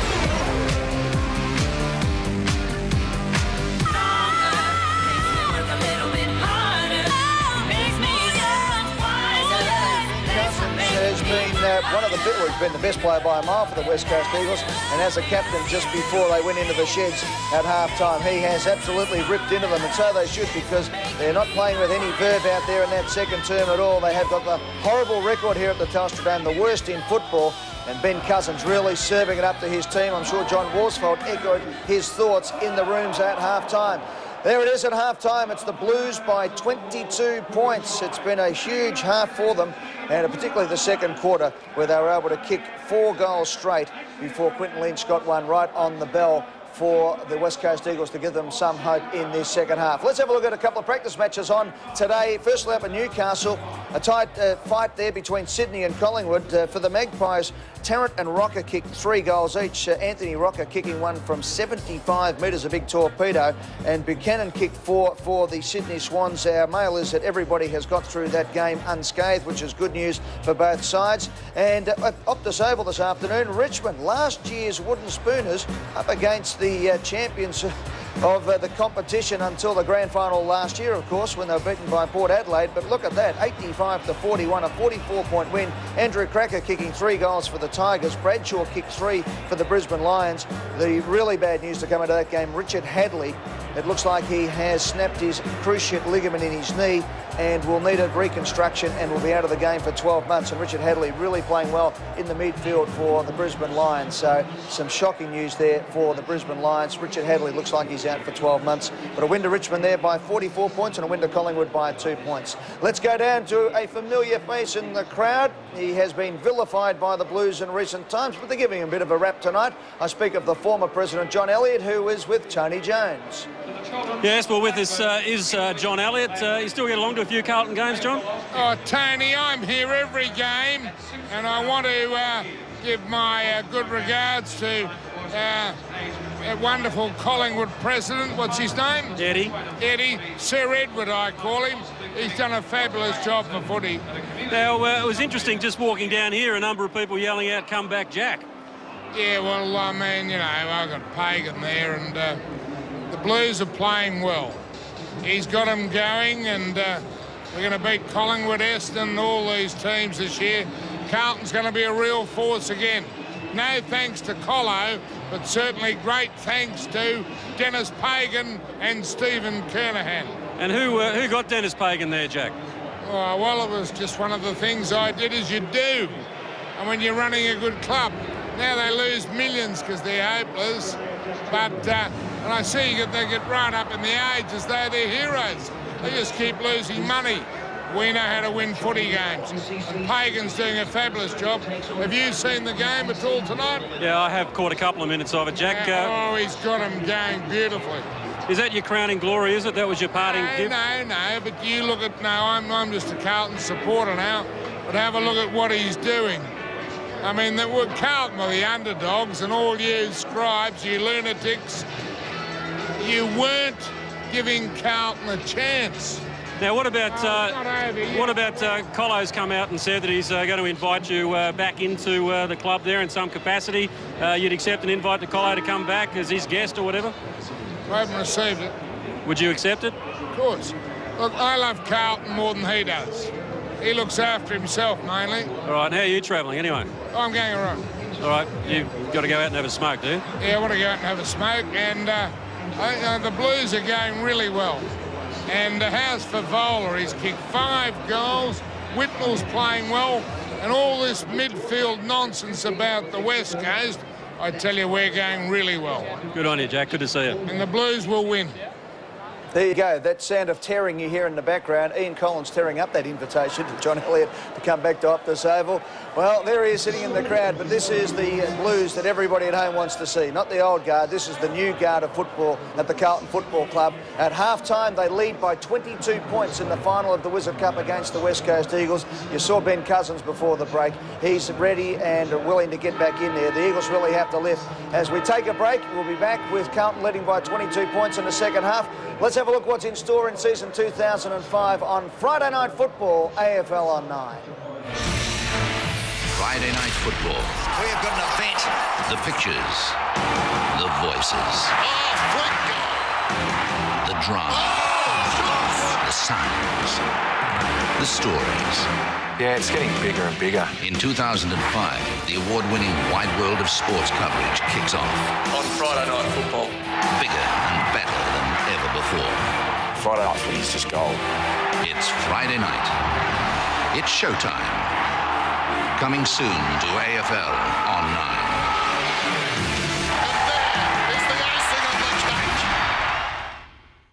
Eagles led by four points at quarter time. They trail by 22 now. CB and French. A couple of sumo wrestlers in that circle. Off hands Judd, who's been quiet by his standards, to half forward Hansen.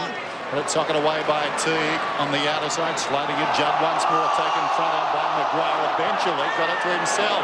Kicks inside the forward 50, tracking it back Sporn. Carrazzo on the burst up from the back pocket. Awkward half volley there for Scotland. Teague on the assist. Probing kick to centre half forward, reaching over the top glass. Wirrpanda leads back in the race. Well done, Davies. Goes down towards full forward. The bowler's got five. He wanted a free kick, didn't get it. Spills wide at the back. Fletcher in trouble. Fevola's got six. Well, one of the one of the great strengths of this Carlton side anyway tonight and over the past three or four weeks has been their ability to put pressure on the opposition when they're not in possession or when it's a 50-50 ball. Now, uh, there's a big turnover here. In It's deep in the Carlton attack. Just great tackling from their forwards gives uh, Frit Brendan Fevola the chance to kick his sixth goal. Quite sure who it was that laid this tackle. It might have been Lance, Lance, actually. Lance. Yeah, look at that. Now that's just holding him up.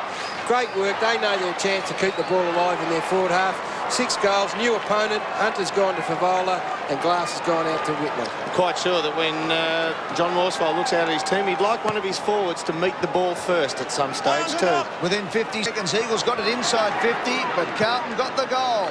They lead by 28 points. Hansen takes the mark at half-forward flank. Boy, do they need some spark now. The West Coast Eagles, the high up and under. Banfield's underneath it. Oh, Lappin! Leaping Lappin takes the screamer. Full of confidence, the Blues now. Thornton releases the handball to Scotland. Scotland from defensive 40, kicks along the flank up to Chambers. Did he get one in the back? No, said the umpire.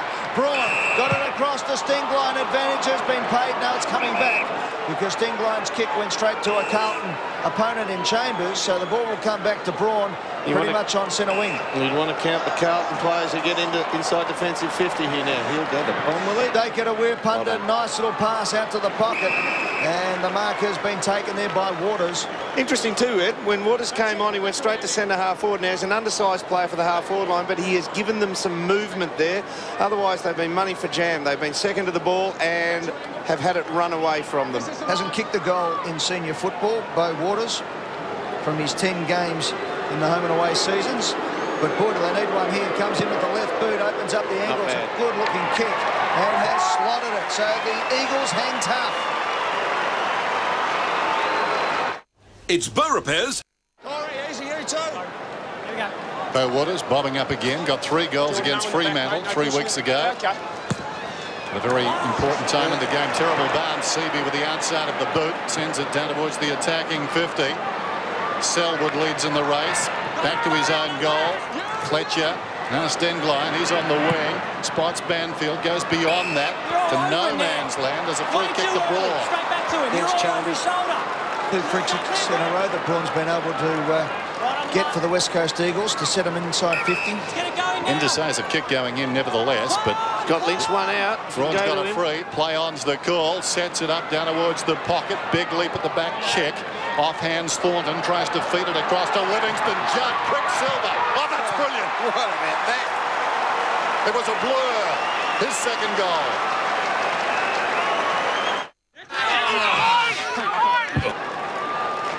So Chris Judd will show you a replay of that magnificent one-handed pickup with the ball rolling away from him. The hardest thing almost to do in football. And instead he kick the goal. The Blues get it out. Stevens, long handball out to Morrell, who mucked it up. It comes to Chick, who slams it on the boot. Touch play on was the call. It's Bills to Lapper now in the middle of the Telstra Dome. He puts it out in front of Lance Whitnall. Whitnall goes to the ball. Glass right on his hammer. Good play by Whitnall. Just holds him up. And the ball goes over the line out of bounds. So let's have a look at this. Chris Judd in the pocket. And Gary, this is one of the hardest things to do. The ball rolling away. Just picked it up. Beat two of them and then kicked it on the outside of his boot for a goal. That is pure class. Two Carlton players ended up on the ground. They, they would have looked at each other and said, what was that? Uh, what about Teague doesn't let tackles slip either and he walked past him. Kick. Hits the pack, has a bounce, opens up now.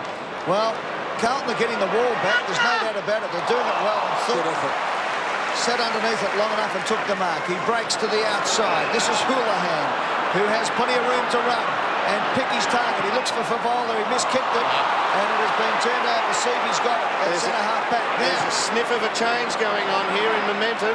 And you know why, Dean? They've almost turned the tables. They are getting the numbers back now, clamping up for Bowler and Whitnall. Selwood to Braun. Braun's been a champion in the oh. first five minutes of this quarter. Waters dropped what he should have taken, should have kept his feet.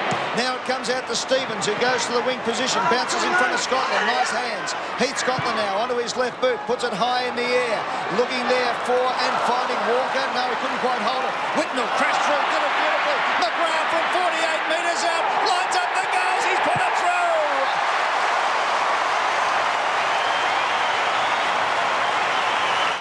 This A&R computer is jammed. Player. has had a wonderful Wizard Cup series. Margin, 22 points. Seaby and French. French decisively. Scotland had it, lost it. Judd tried to rob him of it. Got it back to Seaby. High floating ball inside the forward 50. Gardiner in front. Lappin from the side. Got a timely fist. Fletcher wants his left side in trouble. Comes back intended for Gardiner. There's McGuire again. Working at both ends. And he puts the ball out of bounds on the wing. Been a shootout in the middle of the ground. We should say McGrath's opponent was Judd, so he did get that goal back that Judd scored. But this is what shows you. You know, this was at uh, just on half time. 19 possessions to Fletcher, Stevens 17. They run wide of each other. Stenglein now with Stevens, but it's been a shootout, all right. Boundary throw in.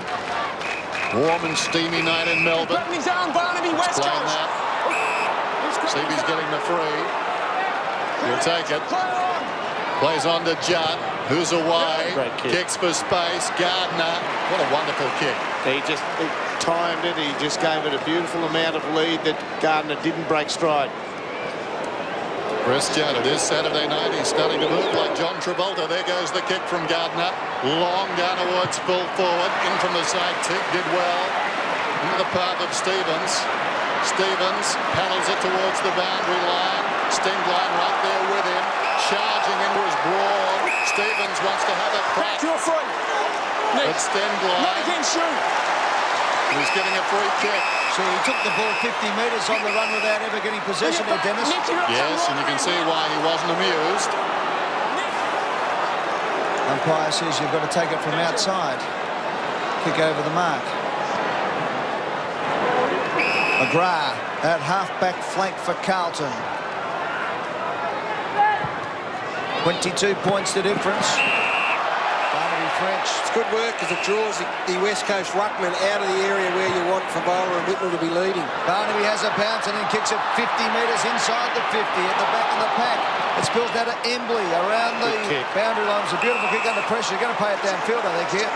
Disposed of it and you push it. Scotty, leave it alone. Dispose of it and pushed him. Well, I thought it was instantaneous here. No, oh, close enough. No, that was no down the ground. Okay. What, you thought it was or wasn't? No. No, I agree with you. Shouldn't have been, but anyway, they've got it, the Eagles. Cousins now on centre wing, goes short to Gardiner, starting to get into the play. You don't want him doing this. You, you want him sitting back at centre half forward, and when the long one comes in, they get at his feet. If he leads up, that's what Beau Waters has been moved to the half forward line for. Carlton going man on man in defence. Chick now thumps it long. It's an awkward kick, a finger breaker. But Lappin's the man who stood firm and took the mark. Staker's gone down for the Eagles to try and provide a marking target. Started centre half back. 14th possession for Lappin. The kick was a good one, needed to be. Scotland showed courage and poise. Now he looks for Lance Whitnall. It's up over his head. Beautiful mark taken by Glass. Plays on immediately. Banfield beyond the wing. Running towards half forward, just the one possession for Ashley Sampi. 70 metres out. Banfield goes long down towards full forward. Waters from behind. Teague got high, got a fist on it. Charging through Houlihan, taking high advantage is paid. Camporeale goes to Lappin across the body. On the outer side, this is Walker running. Up towards the wing. Kicks to half forward. Campton front Davies, knocked away by Wirrpanda. Good Shepherd Sampi. Wirrpanda, short ball. Gardner getting busy. Just forward of the wing, runs inside the centre square. Square ball, slightly forward. Mark is paid. Stenglein, searching kick inside the 50. Waters didn't hang on again. He's had a couple of tough ones, and now Teague breaks away. Teague kicks up towards Fevola on the burst. Fevola with great hands, crashed the tackle, did beautifully well, but they've got the numbers, the Eagles. Stenglein again, inside to Fletcher. Fletcher gets it across to Judd. Judd thumps it up for the forward 50, but Carlton got the wall up again. That's where Gardiner's got to be. Shocking kick. He's got to be there, though. That's the way the Eagles play. They kick to position rather than the lead normally. Thornton out to Camporeale. They've got it now. The Blues and they're away because Lappin's marked on centre wing. He handballs inside.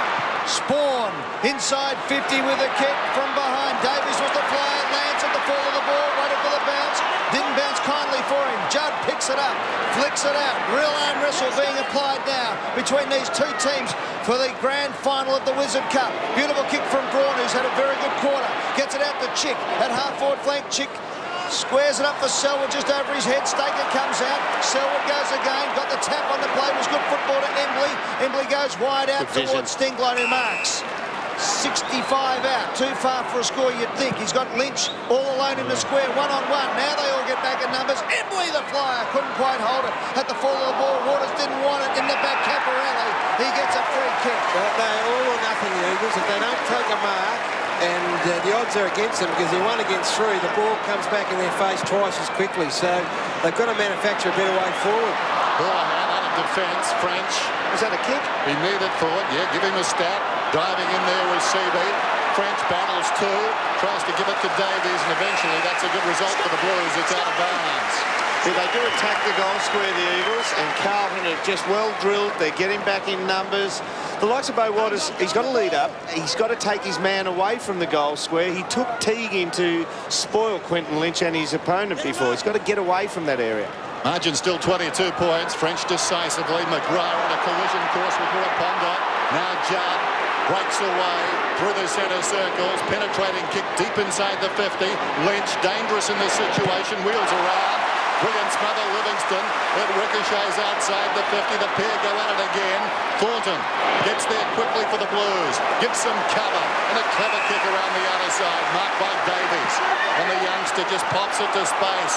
Sporn tracking it down towards right half forward. He can run to the 50. He elects to kick straight to Sampi though. Now a chance for the West Coast Eagles. Sampi spots Stengline. Forward of half back. He moves towards the wing. Looks towards the corridor. Now continues down this side of the ground. Almost did it again, Lappin. Spilt the ball. Arriving quickly, Carrazzo. Knocked it to his own advantage. Well done by the defender. Goes across the ground. Dropping back out there was Cousins. Oh. Great courage by Davies. Knocked it forward. Loose ball. Bannister went to ground. In comes Sporn. Arches the back. Slips away. The chase affected the kick. Walker couldn't control it. Comes across though to Wiggins. We've got a whistle. Advantage will not be paid. Well, if- on the one down one end of the ground, we've got Fevola and Whitnall super dangerous. At the other end, they're kicking the ball to Drew Banfield. And all they're doing is giving Matthew Lappin a chance to win the car in the month of March. You don't want Banfield as your main marking target in your forward 50. Kick and Seaby off for the West Coast Eagles. There's a few Eagles with their tongues hanging out at the moment. They're feeling the heat. The long kick forward, up towards French was there. Off hands, it's picked up by Webb Hunter. Inside 50s this quarter, 14 to 5, the Eagles way, but they just can't get it on the scoreboard. Four of those from Judd. Been resolute too. They've been disciplined, well-drilled Carlton, sticking to their game plan. Getting that wall up. Kick up from Cousins to centre wing lever, throw in on the outer side. It's 22 points the difference as Camporeale takes a spell. 15 minutes gone in this third quarter. You just watch Matthew Lappin. He goes where he wants to go, Matthew Lappin, in defence at the moment because he's got the initiative back on Drew Banfield. Two goals apiece in his third term. It's still 22 points of difference as it was at half-time. Stenglein tried to get it out, did well enough. Ball ricochets. Guess who's got it? On the run, Judd. 65 out on the left boot. He tries to square it up, but the Blues have got the numbers back again, and Teague had a mission in life at that moment to get the ball, and he got there. You can't bomb into a forward line that is outnumbered three against five like that. You just can't do it. Now they're up again. Wiggins runs, has a bounce, carries the ball, runs into trouble, gets some support though. Oh, Didn't get fist on it. not getting a fist on the ball. It's a turnover. Juddy can get away here. Judd will get away here in a second. Judd's gone down. Been picked up now. Whitnall has run from centre half forward to half back flank to pick up Judd. Can you believe that? You wouldn't have said that 12 It's a months ago. effort. It is a great effort, but right now you've got uh, probably one against two or three Carlton defenders in their forward line. Staker now providing a target. Nine touches and five inside 50s to Judd this quarter. Staker's got it though on the boundary line, doing a little bit of dancing. He finds some space. This will be a great goal if he can kick it. He bends it around the body, but he's missed. Offline and through for a point. We've got under six minutes left in the third term. The Eagles, you feel, would have to kick at least one more goal than Carlton in this term to have a chance. And Dennis is going off his head. Have a look at him go. Yeah, Don't it- tell me this isn't important, this game. If this uh, tempo stays up to the end of three, to the uh, right to three-quarter time, it'll suit the Eagles. They play, they train in this heat all through summer. They're going to be used to it, and they've got the quick running machine in Judd in the middle, stepped up a gear as well. And you must say, though, Jim, this Carlton side gives you no sign that they're going to crack at the moment. Bannister from half-back. Probing kick to half-forward. Walker. Oh, that was clever on the way down. Got boot to ball. He's going to get a free kick. For Shepherd in the marking encounter, says umpire Meredith. Walker low and hard inside the 50. Glass sensing the danger, gets across, takes the mark, plays on to Wooden. Banfield is running hard, down towards half-back. Will mark uncontested. Looks back towards the middle. Nothing on offer. Now Cousins is free. His problem now is his opponent is Lappin, who's just sitting back across half-back, and if they don't win possession in their forward 50, Lappin will get involved on the way out. This is the bloke who has to step up for the Eagles. Now Wooden's on. Kerr. Yeah, he's got it now from Hunter. He hasn't seen Wooden. He's 10 metres away. That's a terrible kick. Bounces towards Gardiner. Coming hard was Whitnall. And again, dives on the football. Needs to be careful. Feeds it out. Thornton can't keep it in. Wasn't trying too hard. And there'll be a boundary throw in. And with that, Lance walks off the ground. Gee, you'd want to go out to uh, That's Daniel legal. Kerr and just see if he's got a pair of blinkers on there.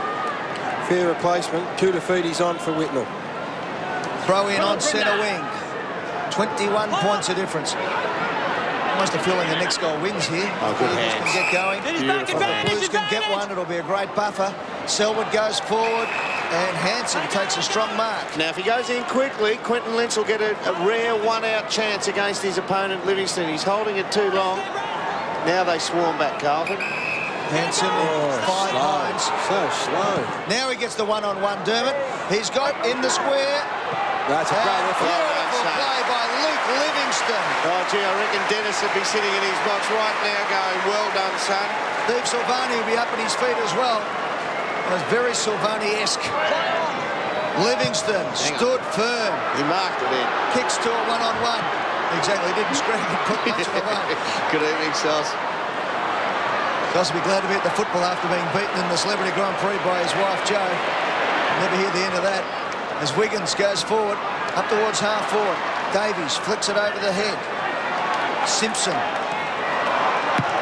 Walker A few of these young Blues have stepped up. Yep. Well done by Simpson. The hand pass then to Shepherd. The ball's out of bounds. DeLuca was the target. One day they're going to redefine stats, which would be a good thing.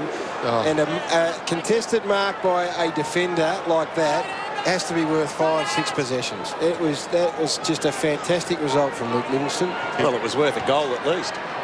Koutoufides knocks it down. Scotland, 65 metres from goal. How do you defend that? Like an armless hitchhiker. That was very creative. You've got to hand it to Dennis Pagan. The way he wants to play, or the way he's playing, he's just jammed up the Eagles' uh, forward line. And then when it gets down the other end, you, you know that Fevola's going to be a one-out one out chance, which we have not seen for Lynch, or very rarely seen down the other end of the ground. Fifth mark inside 50 for Brendan Fevola. In all fairness, Lynch on the lead has coughed up a few that Brendan Fevola's marked, like that one on the lead. He's gobbled them up, whereas uh, Lynch has uh, coughed his up. Going at number seven. No nine-pointers tonight. Had the chance, a reload free kick, and missed from about this range. We're right behind him. This to make it hard for the West Coast Eagles. He's missed. Son of a gun.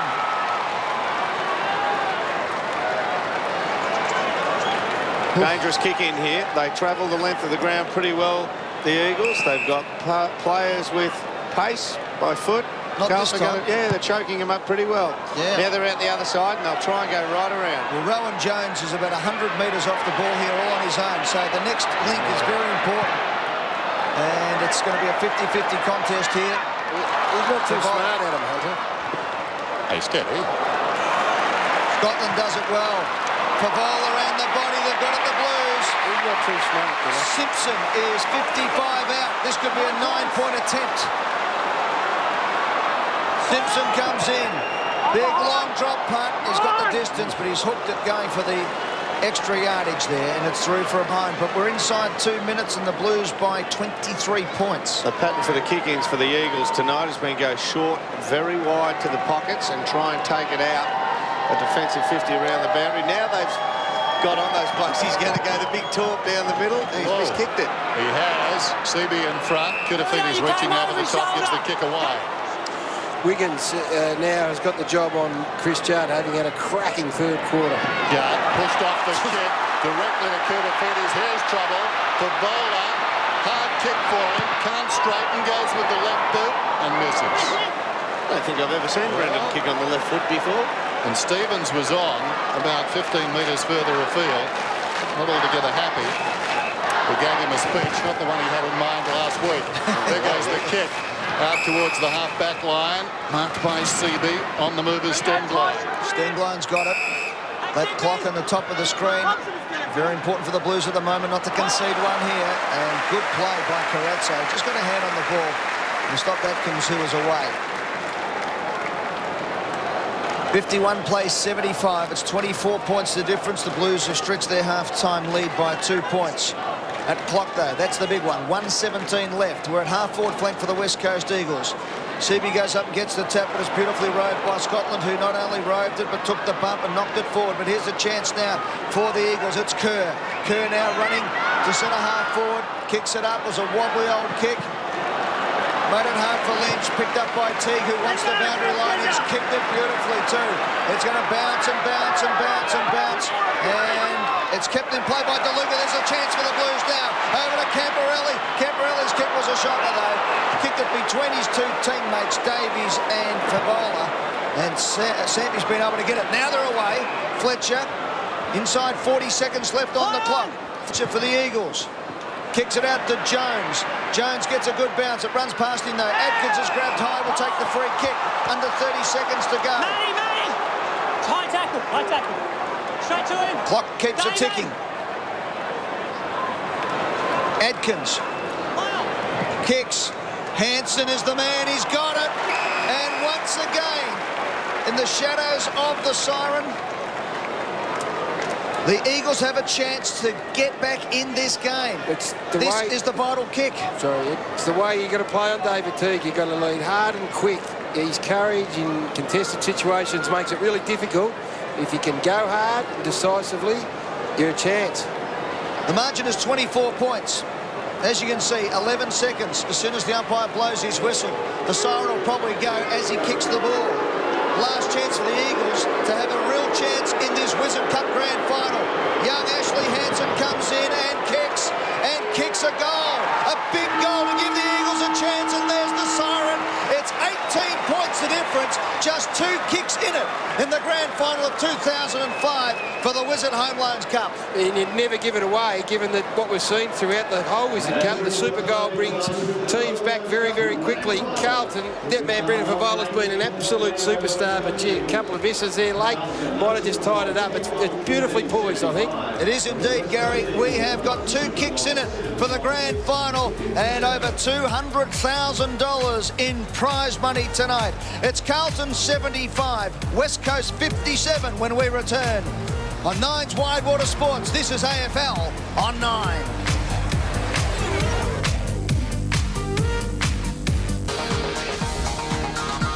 The story so far in the Wizard Home Loans Cup 2005. Celebrations all round for the Stevens family as Carmen and Justin get that wedding and Nick gets his grand final. Fevola and Whitnall, the dynamic duo up forward for the Carlton side, have turned it on. Eight goals between them in the game so far. Six to Brendan Fevola, two to Lance Whitnall.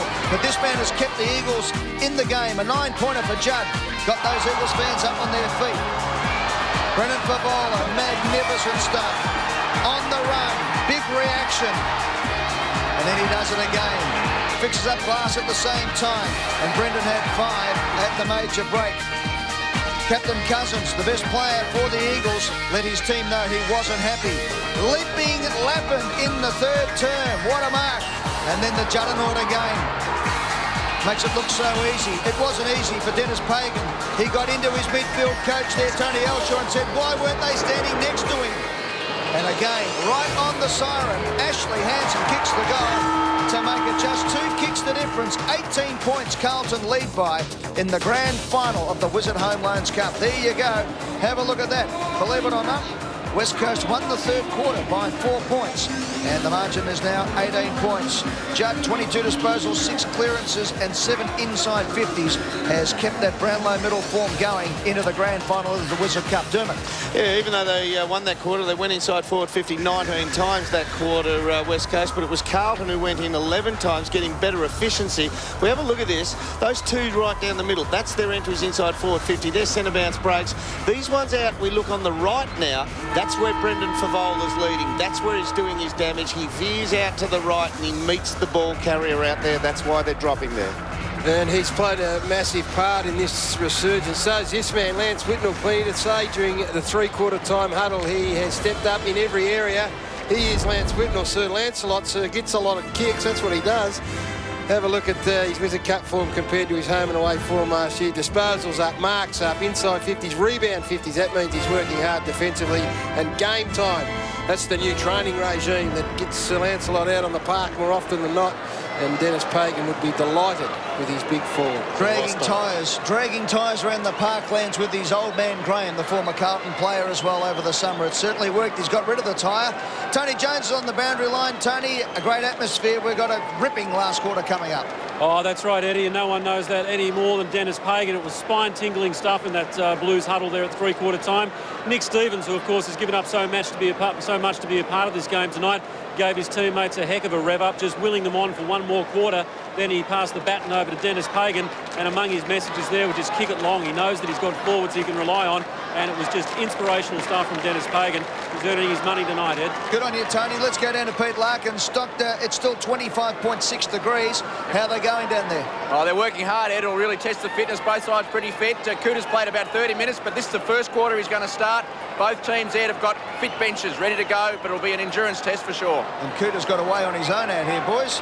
Well, actually, Kouta's going to come, and try around. and pick up an opponent. That's what he's been a while for Kouta.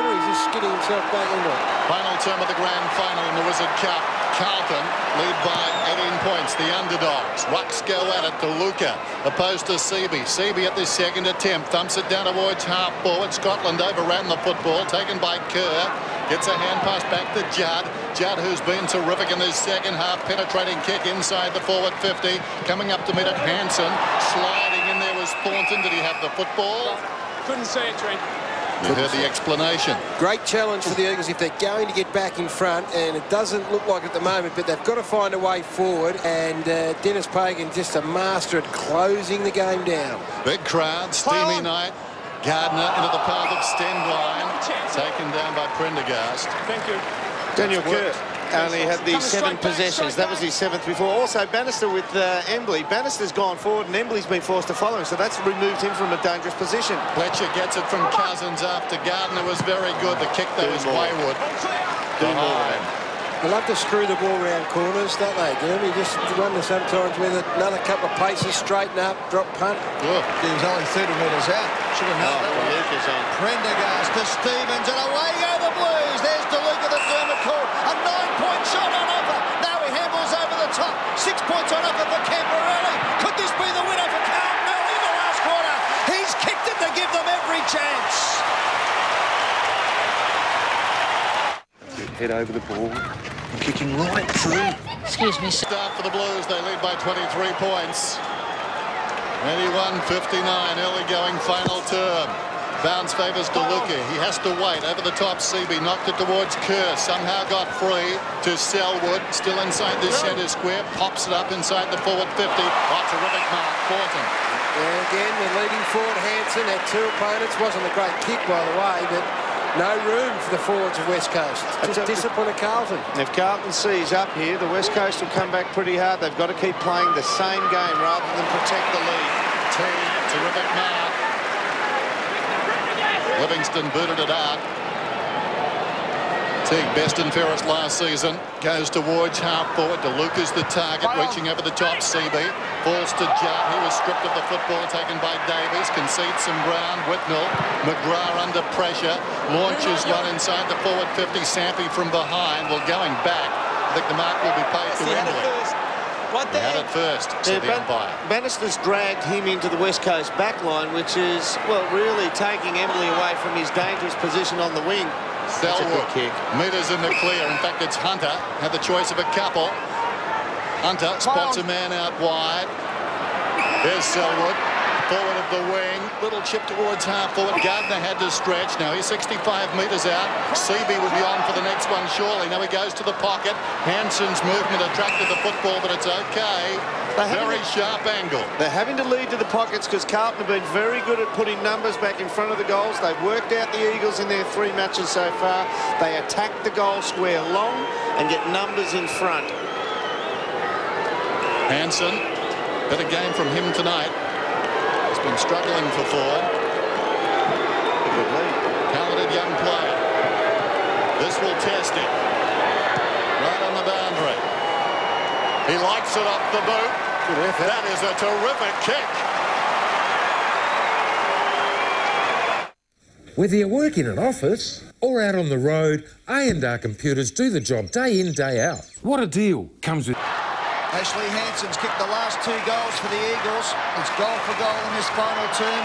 17 points the difference, one less than what Carlton's lead was at three-quarter time. Here's Jardy, flicks it out to Kerr. They're starting to open up the Eagles now. Kerr's found a man, and that man is Big Gardiner. Michael Gardiner lining up for goal to make it 11 points. They will come at them, Ed. They are a very fit team. It's going to be very taxing how hard Carlton have played for the evening. There's the tap out again. Judd gets very close in. He's very good reaction time to the hands of the ruckman. And they will keep coming at them, the Eagles. They've just got to take their finger off the button for five minutes and the Eagles can snatch this back. Michael Gardiner will kick from 45 metres out. No real angle to worry about. Look at this shot right from behind. It comes in and Gardiner has kicked two in a row now for the Eagles. Hansen and Gardiner. And we've got an 11-point grand final. It's Beaurepaire's Easter Extra. By Testing time this for Adrian DeLuca. Seaby doing pretty well at the centre bounces. Flicks it out again. Stenglein in trouble. Given a while. Cousins taken down. Jarred out of there. Scotland stood up in the tackle. Prendergast going nowhere. McGrath, stayed off him. Springs to his feet. Touched off the boot inside the forward 50. Davies from behind. It came back to him. He's dragged down by Selwood. Charging in Prendergast. Got it to Scotland from 53 metres out. Long down towards full forward. Whitnall almost. Through his fingertips. Dorcuda sitting there in the goal square. Play on straight away now. And they're on the run, the Eagles. It's out to a one-on-one contest. It's Houlihan who did well, got to the front against Selwood. Oh, great play by Fletcher. Stuck his head over the ball and caught one high. That's a bit of an indication of what they think they're a chance here, the Eagles. Don't worry. Fletcher looks up, Gardiner leads. He's the man, he has to take it. Carlton plays everywhere, but he was good enough, Gardiner. He had it dropped it, they had it under the ball. Now Cousins breaks. Cousins, 2-1-1 contest. Has to stand his ground. Good play by Lappin, got a finger over the top. Atkins jumped over the top of him. That was good play. Didn't go away the free kick. It's got to be intentional. It is. Free kick, nine-point chance for the Eagles. Cousins has got it. Cousins looks up. The goal square is open. He could bomb one long. Hansen wants it long to the square. That's where it goes. Hansen's been held. He's got the free kick. Now it's gone the other way. He's sling. He's holding No, he wants the ball. I'll watch it, mate. That was a free. Play on. There you go. You heard it. Livingston releases. Stevens, whose kick is wide. Davies at defensive 50. Up the line he goes. Scotland will have to compete here. Off hands. Waters got enough of it. Judd comes in, breaks the tackle and takes off. Then kicks and hits his man on the chest. Wow. He's just given us three throughout the night of the best of the night. That's Embley, sorry boys, Embley limping off by the way. Jones on, there's the grab, that's the free kick. But in the meantime, Judd, who, if the Eagles can get up, will add, I reckon, a Michael Tuck to his Brownlow. Gardiner,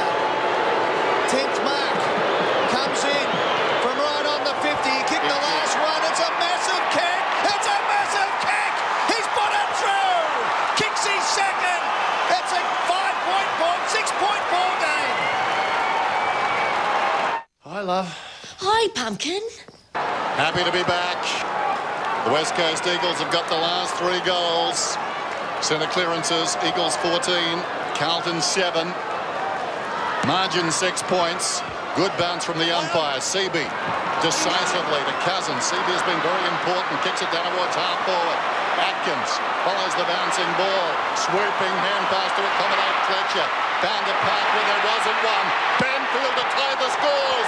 Runs in. Gets the goal. this, this has just been a very, very impressive 10 minutes or so. And not, not surprisingly, it's come when the footy's reverted to a much more conventional setup. You, you talk about Doom Gardiner being close to the goal. He's been able to do that because it's been six on six. All of a sudden, he hasn't had to push up to find some space. The space has been there for him. And as this game's reverted to a more conventional game, the Eagles have been dominant. Four players touched the ball then for the Eagles, and they were Cousins out of the centre. Then we got uh, Adkins got onto the end of it. We also had Fletcher in there, and then the goal kick by Banfield. Four running players. The Eagles will not wilt in the middle with their running brigade. Carlton have to kick goals here or they're done. A minute and a half into the last quarter, Carlton led by 23 points when Camporeale kicked the Blues opening goal of the term. Four in a row and scores are level. Away they go again the last six minutes. 15 to 9 disposals to the Eagles. Inside 50s 4-1. Goals four straight. And here they go again. The ball comes out to CB. Inside 50 it goes. Bounce, bounce, bounce. Hansen's there. He's kicked two. He's tried to get the ball out. Atkins tackles Stevens. The ball in the air. It's hot in there at the moment. Barnaby French. He turns it over. Waters to put him in front. He's kicked the point. But they're in front, the Eagles. One point is the difference. Doc Larkin's on the boundary It, it's getting hot everywhere. The cramps are starting to set in. Andrew Embley had to come off cramping. Both hamstrings and calves are working furiously. We'll probably see more of it if the pace keeps up like this. Hurdles of time. Stevens to himself. Nice kick. Prendergast at right half back. Eagles by a point. They're storming back into it. Glass. Camporeale. Camped in position A. Hurriedly on the boot towards half forward. Clever by Houlihan. Got rid of Kerr. Kuda Fides from inside this centre square turns the defence around. Fevola again. Whoa. A hold, not a mark. Either way, it was very close to a mark, and then uncertain of what would be paid, he tried to kick it on the way down. He just protected where the ball was falling to. You watch him turn the 180 spot turn here. He just keeps Hunter away from where the ball is. The genuine go at it, isn't it? And yep. Gee, this is a, uh, an indication of how much Brendan Fevola's added to his game. He tried to kick it on the way through. a lead-up player for a long time.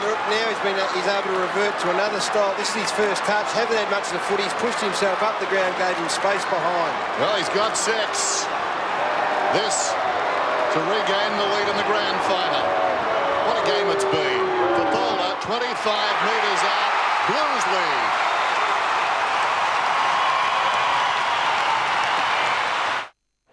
Join the... The Telstra Dome is a rockin'. Carlton by five points in the grand final. Just under 10 minutes left to play. Plenty of time for both sides. Here we go. It's French versus Seaby. Up they go. Both went early. Knock it out. Knock it out. Got it out. Kerr did better than knock it out. He kicked it out. Rowan Jones hasn't seen much of it.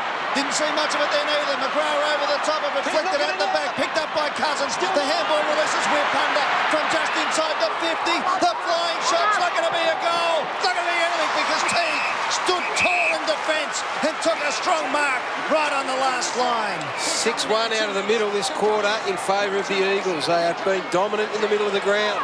Teague from the last line of defence puts it up looking for Whitnall who's come down from centre half forward and Big Lance wraps it out of the air looks up sees he's got a teammate on in Chambers he's a two against one good strong mark paid by the umpire the push Carlton now doing all the hard they're in front they want the Wizard Cup they need the 220 grand Chambers bombs it up for Voller the man of the moment standing firm though was Wirrpanda who takes the mark on the fence at 50 needed to be, needed to be a position in between their kicker and Brendan Fevola so they could kick again over his head. He just didn't need to be that long option. Carlton by five points. Fletcher's got it. I wonder if Jack's the one.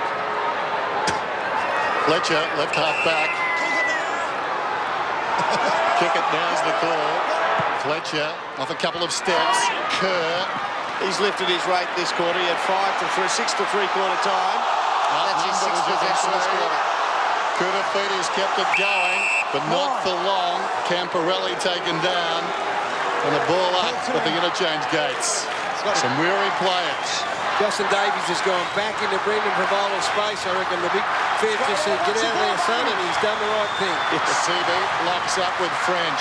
Fell at their feet, spills out. Fletcher wanted it most. Found the passage again. Hand passes towards half forward. Jones shields the ball. Braun had it, lost it. His old teammate Chambers. Hand passes across to Stevens. Stevens, clever, goes towards oh. half forward. Going back with wonderful courage there. Banfield knocked it away from Lappin. Outnumbered. Heard the voice. Gives it to Jones. Jones gives it to Glass on the overlap. Wonderful tackle, Walker. Walker got him down. Houlihan crashes the pack. Gets it away to Whitnall. Whitnall gets the ball up his back and then misses. Well, he created space for himself, feigning the hand pass, and then, with time, missed to the right-hand side. But bear in mind, these players have given so much tonight. They've got reason to make mistakes now. If the pressure weren't enough, Carlton by six. Two goals, three to Lance Whitnall. As you can see, it's a goal the difference.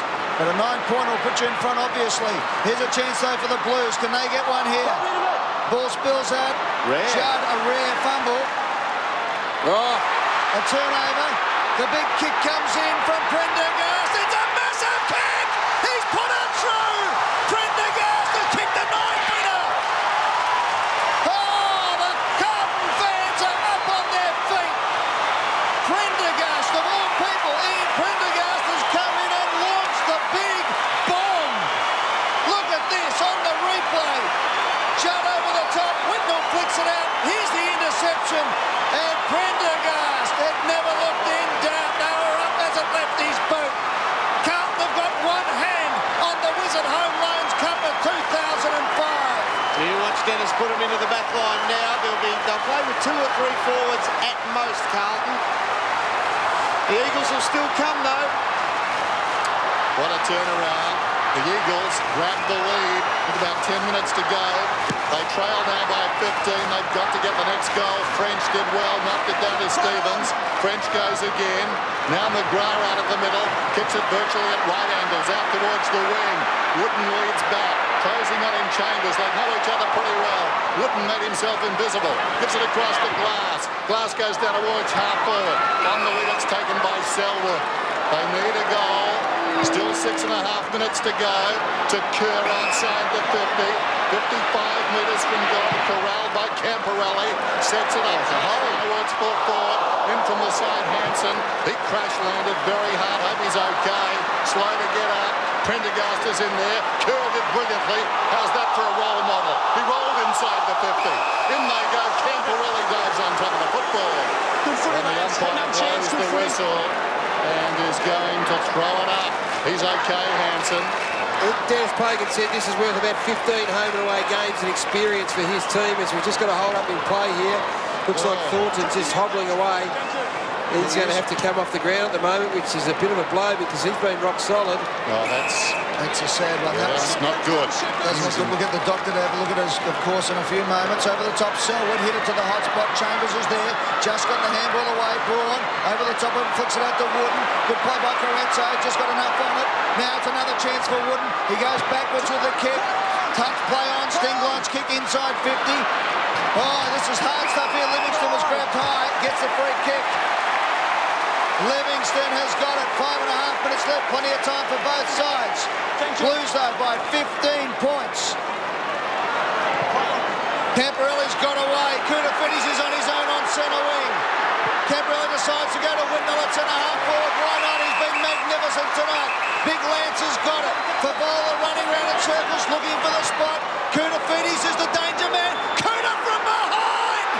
Couldn't quite hold it. Wirrpanda. Slams it on the boot. Bounces close to the boundary line over and out. We'll have a throw in. 40 out from Carlton's goal. 15 points of difference. The Blues have got it where they want it in their attacking zone. Thornton in a bit of trouble. Let's have a look at it here. And he's just been hit there on the inside by Prendergast of his knee. Doc Larkins will get more in a moment. Dennis. Seaby knocks it down. Houlihan over his shoulder. Selwood clears a path. In his own defensive area. Tries to bring it out. That's risky. Oh, good mark, Scotland. Came back hard. War one, but can put it beyond doubt, I'd suggest, if he can kick truly here. Just a couple of critical blues from the West Coast Eagles, but you'd have to say it's a result of relent uh, relentless pressure from Carlton all night. It's been one of the most impressive parts of what's been an impressive performance, but they have been at the Eagles from the first bounce. As strange as it sounds, the best thing for the Eagles here, they can't break it past the centre now. The Eagles going forward in general play. If they get a goal, they get it back to the centre, and they need to win about three centre breaks in a row after it. The former Magpie from 50 hits it through. Six points.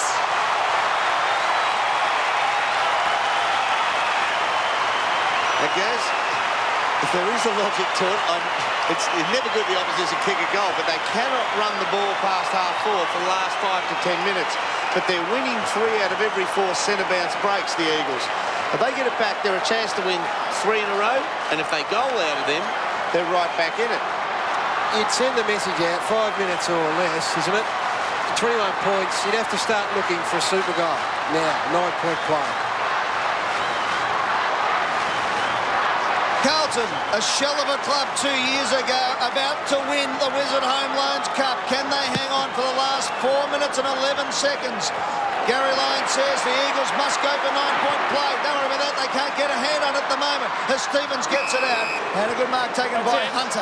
Well, you can't, there's no good being careful in this situation. They've just got to take a risk, and they should try and set up a super goal. Get themselves back into it. Cousins shows the ball and then kicks forward. Gardiner's the man has to beat three. Off the hands of the pack. Gardiner has to rove his own ball. Cousins takes it. Back to Gardiner. Gardiner looks up, not much on. Carlton have got the wall up again. Good man-on-man stuff, and Carrazzo thumps it to the boundary line. A throw in 40 metres out from the West Coast Eagles goal. This is Cousins and Fevola. Just at his weight limit there. The Blues are three and a half minutes from being back in town in the AFL. Stevens by himself, Fletcher the other side by himself. McGrath has been very good. Stevens, as predicted, comes across the ground. Scotland Hard running Stevens. Get it again, son. Show him how. Scotland. He will get it, Stevens. Chambers. He's away. Likes a long one. Measures it. How sweet would this be against his old club? He's missed. Now, I did call Stevens there. He's already inside 50, Nick Stevens. He ran from that boundary line throw-in, back pocket on the other side of the ground. And when Callum Chambers had a shot at goal, you wonder why Nick Stevens is so good. He was level with Chambers. Boys, uh, the Mi Michael Tuck medal up for grabs tonight. Nick Stevens could become the first player ever to win two of them. That'd be a fairy tale, wouldn't it? Selwood around the outer side. Bloke Extend line. And the 25 for the Navy Blues might give it a nudge. And not only that, boys, but we're going to be crossing live to the wedding of the year in the Blue Mountains, Snowy Mountains. Nick Stevens talking to his brother Justin at the end of the game. If they win, they've got two minutes and 40 seconds to hang on the Blues. Kouta's there. Lance is there. They're all stepping up. But Judd's the last hope of the side for the Eagles. Look at that kick. Gardiner couldn't stretch that big frame, that extra centimetre to hold it. Carrazzo, one of the young lions for this Blues side, gets it out. There he is again. Stevens. What a way. You if you're gonna dodge a, medal? if you're going to dodge a wedding, you may as well do it this way. Off the hands of the pack. Did it go 15? Doesn't matter. Here goes for Nolan and Nolan. Carlton have won the Wizard Cup. He's kicked goal number eight. Big Fev. There goes the medal. Ah, well done. Well done to the Carlton Footy Club. The call there, that was just, look, they have, uh, they deserve it, thoroughly deserve it. I'm not sure what I say. I suppose different sides put different importance on pre-season competitions, but when you've been down like the Blues have been and when you have a financial result like they announced not long ago, you can't afford to take anything for granted. And they went after this and they have been absolutely fantastic. Brendan Fevola, eight goals in the grand final. 111 plays 83. What a terrific performance by the Blues. Headed 10 minutes out. Stevens again involved with Cousins. Last to Selwood. Selwood goes down towards half forward and Staker. Well, if the panel selecting the Tuck medal have got any romance in them at all, it's got to be Stevens. I guess if they know anything about footy, it's got to be Fevola. Down towards the line, off hands. Whisking it away is Lappin. He's been mighty fine tonight too. Whitnall was up, got hands to it. Couldn't complete the mark. Wooden comes back to Glass. Glass from half forward floats it in. Big League Gardiner. Oh, that would hurt. The size 13s right in the small of the back. I reckon it might have even been the point of the knee with 110 k's G's behind it. Yeah. Been a great story too, though, uh, for the Eagles. They're not going to win the Wizard Cup, but this bloke just gets better and better. He's taken 11 marks, and his mobility and willingness to push to a contest has been fantastic. Well, he took that one 11 times. We've got that many cameras here. You see everything here on Nine's Widewater Sport as Michael Gardiner comes in for the consolation. Yep, going at his third. So his third this term, certainly his second this term. Well, doesn't matter. Yeah, third for the term he was going at. And he's missed it to the near side. So inside the last minute, 111 plays 84. Well, the romance in football's back. Carlton are into it again. This proud club who have been humbled in recent times, suffering record losses two years ago on two or three occasions during that year. Tonight, 43,391 supporters have turned out. That man there tackling to the very end, Nick Stevens, put aside a big family night, a wedding of his brother, to be here with his teammates and it's all come together. 27 disposals. He's been one of the catalysts of this Carlton revival tonight. The Eagles go inside 50. Lance Whitnall deserves to take another big mark, and he does. Lance Whitnall this time last year would have been calling for an oxygen tent if he had a run from full forward to full back. Tonight he does it at the end of the last quarter. Standing resolute. Camporeale, who saw the glory days and then lived through the terrible times, is there again for the Blues. Denis Pagan has tasted success at all levels in football. Under 19s, reserves, senior day, and now. The Wizard Cup Grand Final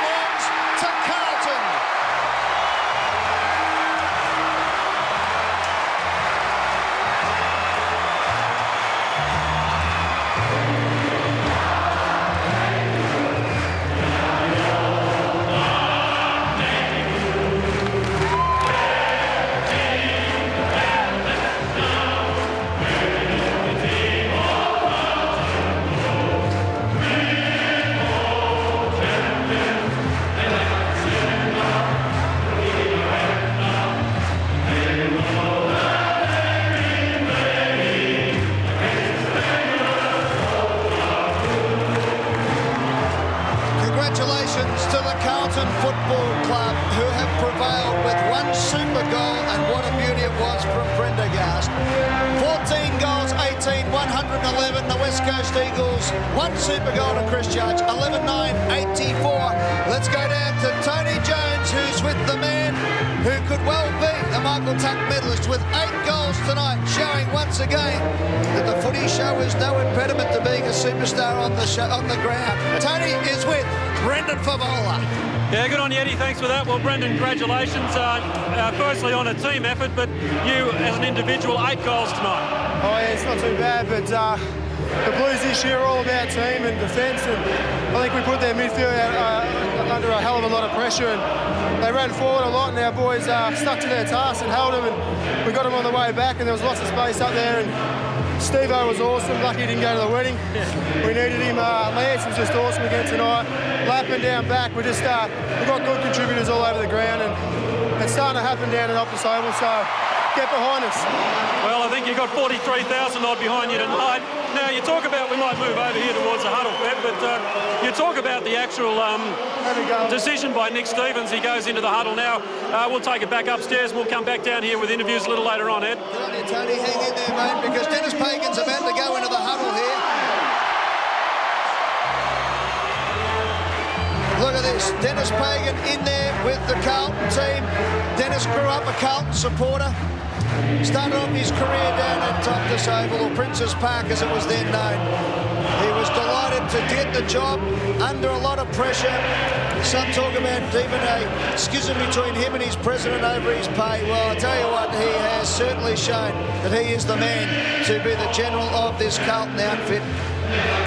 Let's go down to Tony Jones, who's with a man who saw the glory days with Carl, lived through the barren times, and the good times are back again for the Blues. He's with Scott Camporeale. Scotty, congratulations. As Eddie said, you're there in the glory days. You were there when the club looked like a basket case a few years ago, but uh, for the moment, you're back on top. Yeah, well, it's been a long road. You know, we were you know, terrible the last couple of years, but, you know, to Denis's credit, he's got a good group of blokes down here now. We're doing the right things, and uh, look, we're looking forward to the real season now. Denis, uh, one of the few coaches in the AFL that will actually come out publicly and say, no, we're fair income about the Wizard Cup, we want to win it. Yeah, definitely. You know, it's it's important to roll into the season with a few wins under your belt. And look, we're a young side. We're still learning the game, and uh, you know, it's great for the members. You know, the, we, we, need everyone out there to get behind us, and you know, I think we're in for a good season. We'll uh, have a chat to Nick Stevens in the room, but. Um, how much of a motivation was his decision to bypass uh, a, a, family commitment like that and uh, pull on the boots with you boys? Uh, look, it's I mean it's great on, uh, great on his behalf. You know, it's uh, it's family, and family is. Uh, as Dennis said, there for the long haul foot. He's not always going to be there, but you know we really appreciate Nick playing tonight, and you know he's one of us. He's one of the boys that we really enjoy having around the club, and it's great to have him tonight. All right, well, well done again. Enjoy the celebration. Thanks, mate. They'll be singing it long and strong down in Lygon Street tonight. Let's go down to the AFL's Master of Ceremonies, Craig Willis, for the presentation of the 2005 Wizard Home Loan Cup and also the Michael Tuck Medal for Best On Ground. Well, ladies and gentlemen, before we begin our presentation, let's uh, acknowledge the performance of the West Coast Eagles in the grand final tonight, fellas. And good luck for the home and away season of 2005. No need to tell you that Wizard Home Loans has been an outstanding sponsor and great supporter of the competition, which has seen matches played throughout the length and breadth of our great country. I'd like now to welcome the CEO and President of Australia and New Zealand of Wizard and GE Money, Mr Tom Gentili, to say a few words. Tom? Thank you and good evening. Once again, it was a great Wizard Cup Grand Final, and I'd like to congratulate the Carlton Football Club for their exciting victory tonight.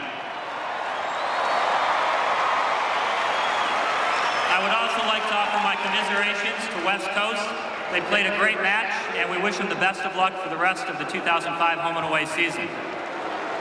This is Wizards' fourth year as the principal sponsor for the Wizard Cup, and we could not be more delighted than to be part of this great game. The Wizard Cup dares to be different. It challenges convention, it gives newcomers a chance to succeed, and it's exciting and innovative like Wizard itself. We're already looking forward to next year's Wizard Cup. So on behalf of the entire team at Wizard, I'd like to congratulate again Carlton for winning the 2005 Wizard Cup Grand Final. Thank you, Tom. Thank you to Wizard. Ladies and gentlemen, now gives me a great deal of pleasure to welcome to the podium former Hawthorn champion and AFL Games record holder Michael Tuck to present the medal named in his honour to the player adjudged best on ground in the 2005 Wizard Home Loans Grand Final. Tucky? Good evening. Um, the winner of the Norm Smith medal is Brendan Fevola, or Fev.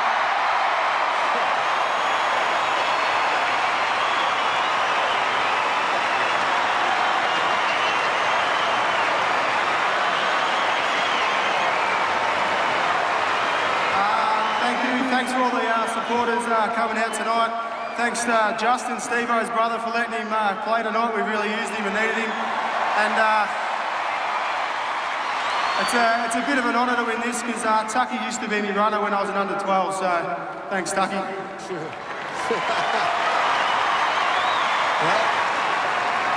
Congratulations, Brendan. Now please welcome former Carlton champion and former captain of the Carlton Football Club, Brett Ratten, to present medallions to the players of the Carlton Football Club as the winners of the 2005 Wizard Home Loans Grand Final. Number one, Andrew Walker.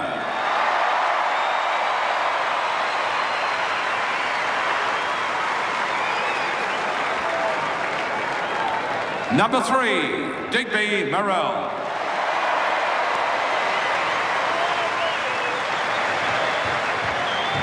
Number four, Luke Livingston.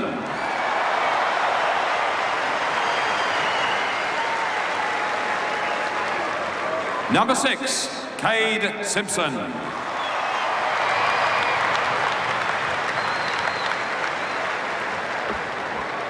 Number seven, Justin Davies.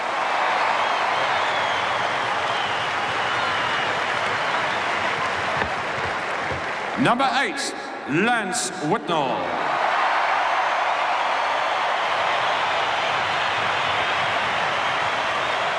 Number 11, Barnaby French.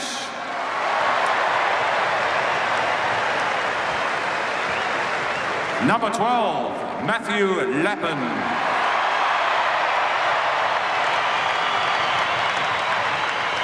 Number 15, David Teague.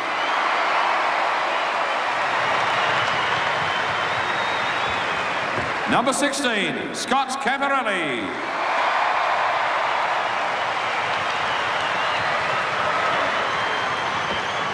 Number 20, Corey McGrath. Number 22, Callum Chambers.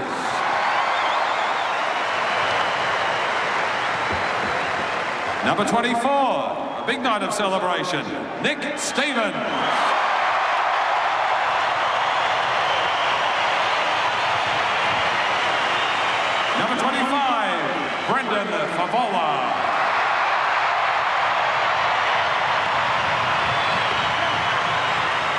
Number 26, Adrian DeLuca.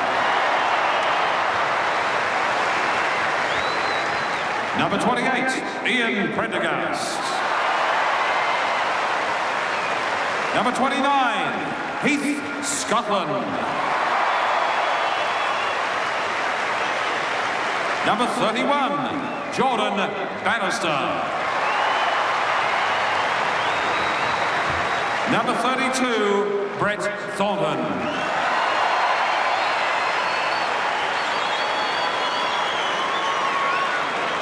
Number 33, Brian Houlihan.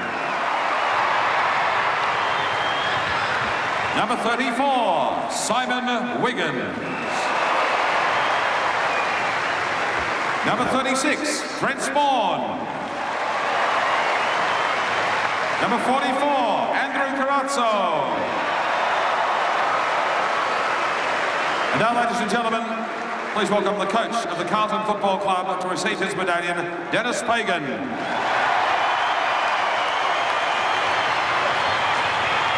And the captain, number 43, Anthony Koutoufides.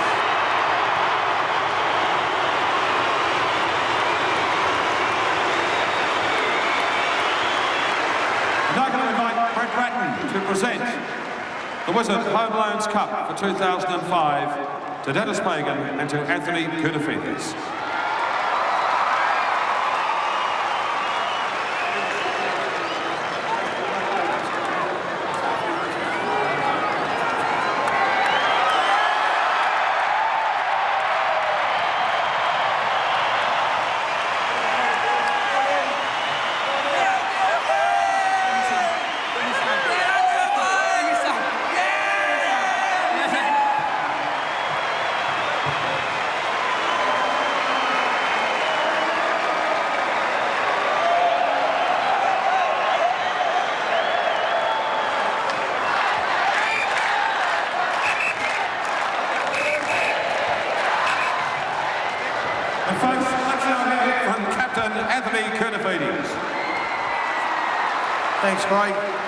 Firstly, we want to thank our Wizard Home Loans for sponsoring the pre-season cup. It's been a fantastic tournament. To Johnny Worsfold and the West Coast Eagles, they put up a great fight tonight. There's no doubt they're going to have a sensational year. To our uh, club sponsors, Optus, Toshiba, and the new guys, Dan Murphy's, for coming on board. Thanks very much. Denis Pagan and the guys, we've come, uh, come a, a long way from the last three years, but uh, tonight hopefully is a uh, stepping stone for bigger things to come. And to the supporters, thanks for hanging in there for so long, and uh, you've been great, and we really appreciate it. Thanks very much. The victorious skipper of the Carlton Football Club, Anthony Koutoufides. Going to invite the boys to do a lap of lana here now at Telstra Dome as we close off official proceedings. And not long, and the home and away season will be underway. Hope you've had a great time here tonight. Well done to Carlton, winners of the Wizard Home Loans Cup for 2005. Good night to you all. Well, there we go. A fantastic result for the Carlton Football Club. Well done to Brendan Fevola, who only a couple of years ago, Dennis uh, walked into Denis Pagan's office and was wrapped when the coach said, I want you to stay. I think you've got something. There was a man who was on the way out of footy for a little while there, Brendan Fevola. He's got his life together. He's got his act together. And a worthy winner of the Michael Tuck Medal. The Michael Tuck Maybe Medal, Michael yes. Tuck is a clairvoyant because he presented the Norm Smith Medal. I, I suppose Oh, it's an easy thing. the the it's, it's an easy thing to forget, isn't it? Would have loved him to say the Except Brownlow. There's the Brownlow medal. That was Uh, magnificent. The Michael, Michael Tuck presenting the Michael Tuck medal and calling it the Norm Smith A medal. name he's unfamiliar with it. Um, yes, a terrific performance by Carlton, and we know that Denis Pagan's a very good judge, and as you say, Brendan Fevola was at the crossroads, but now he is a key building block as far as Pagan's concerned on that forward line, and he's got Whitnall back as well. I mean, they were challenged tonight. They fell behind with 10 minutes to go, 10 and a half minutes out from full time. Still plenty of time, and they were the team that found most by a long shot. And the West Coast Eagles would have been disappointed with the way they fell away, but this team wanted it very much tonight. No question, all honours to them. They were simply too good for the West Coast Eagles. Brendan Fevola tonight, 14 disposals, 5 marks, 8 goals. After the break, when we take a break, don't worry Blues fans, we're going to stick with you here for the lap of honour. It's been a long time between drinks, a lot of pain, a lot of suffering. You can celebrate tonight. Nick Stevens, there he is, 27 disposals, 5 clearances, 3 inside 50, 6 rebound 50. What a decision, a heartbreaking decision to miss his brother's wedding. But we'll do the next best thing right here on Channel 9 because after the break, believe it or not, Dennis, we're here at the Telstra Dome. They're sponsored by Optus, but they haven't been able to get mobile connection to the snowy mountains where this wedding of the century has been this week. but Justin and Carmen will be joining us, and you'll see it first right here on AFL on 9 because we're going to link the family up for the first time tonight for the double celebration. What a beauty it's going to be. A premiership, a night premiership celebration for Nick Stevens and a wonderful family wedding for his brother Justin and his bride Carmen. Well, there's no bridesmaids tonight for Carlton. They were fantastic. They came out. Lynch got the first goal of the game for the West Coast Eagles, but then the the big two up forward, Whitnall and Fevola, really turned it on, kicking the next few. At quarter time, though, the Eagles have fought back to lead by four points. But then a big second and third quarter, 22 points the difference at half-time was uh, just a fantastic effort. And, uh, well, Dennis, I must admit, when they got four in a row there in the last quarter, you just thought the West Coast Eagles might be able to get over the top of them. I think that's what makes this even more meritorious for the Carlton side. They hit the front by a point, the uh, West Coast Eagles, and that came about the 10-minute mark of the last yep. quarter. And then they kicked the next four goals, including a super goal to Prendergast, and that was it. No Big question, win. no question, Ed. I mean, Fevola, every time the ball went inside the forward 50, it looked dangerous. He finished with eight goals.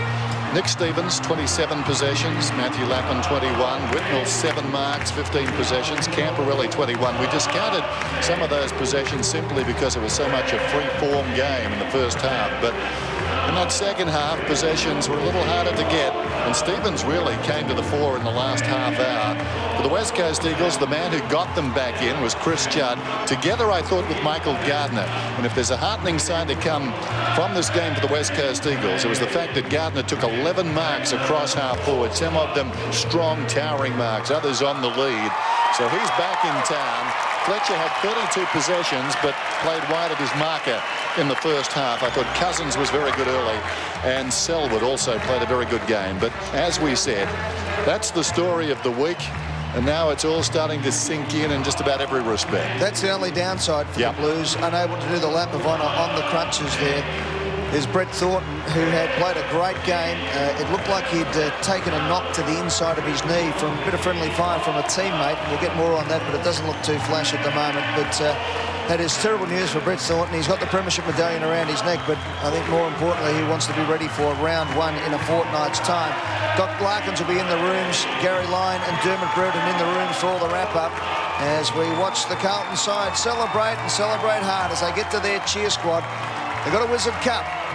1997, the last time they had some silverware. They've had a bit of wood in between, a wooden spoon, the heart ripped out of their club for cheating with the salary cap fines, and more importantly, the draft, the loss of draft picks.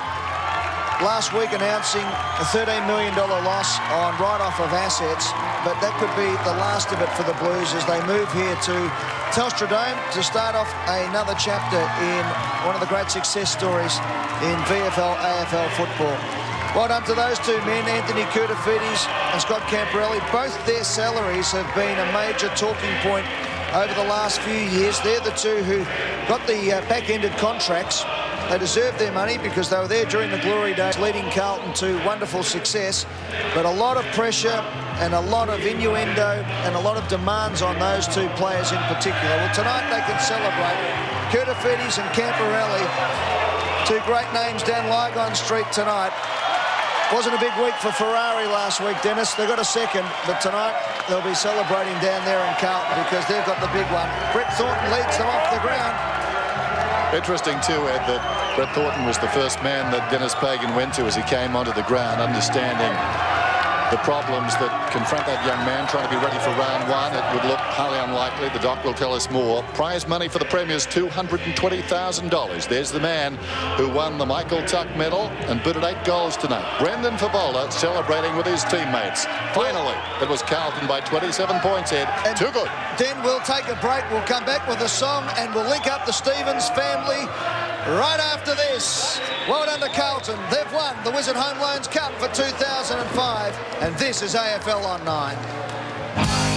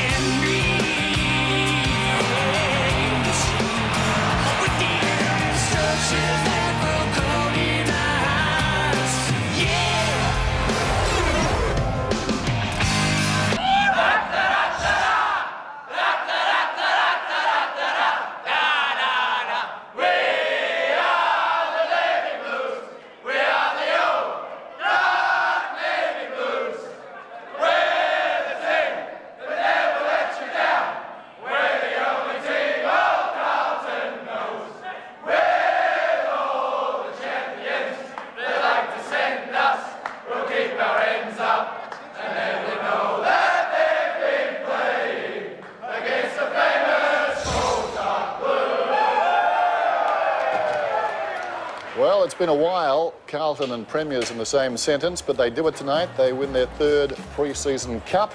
And as you can see, it wasn't easy.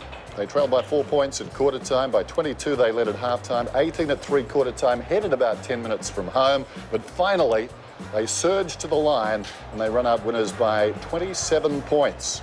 Checking the goal scorers, two super goals tonight, one to Judd and one to Prendergast, but the real story is Brendan Fevola, who finished with eight, just terrific on the forward line. Every time they went to him, he looked oh so dangerous, and Whitnall booted two. Yeah, fantastic effort there. Uh, the Michael Tuck medalist or as Michael Tuck says, the Norm, Norm Smith, Smith medalist. medalist. There you go. It's the Norm Smith of the night series anyway, that's for sure. All right, we heard from John Elliott earlier on. Uh, he was uh, very excited about the way Carlton were going. Wasn't so uh, wrapped in his old CEO, Ian Collins. Doesn't matter, Carlton fans are wrapped in him because he is a premiership president tonight. And here's what he said to his team straight after the game. guys, how far you take it. Nobody else. We can only put you together, help you, and put a good coaching staff behind you. But it really is up to the players. And I think you've done yourselves proud over the last four games. We're very proud of you. And Dan Murphy, our new sponsor, has given here a big one. So there you are.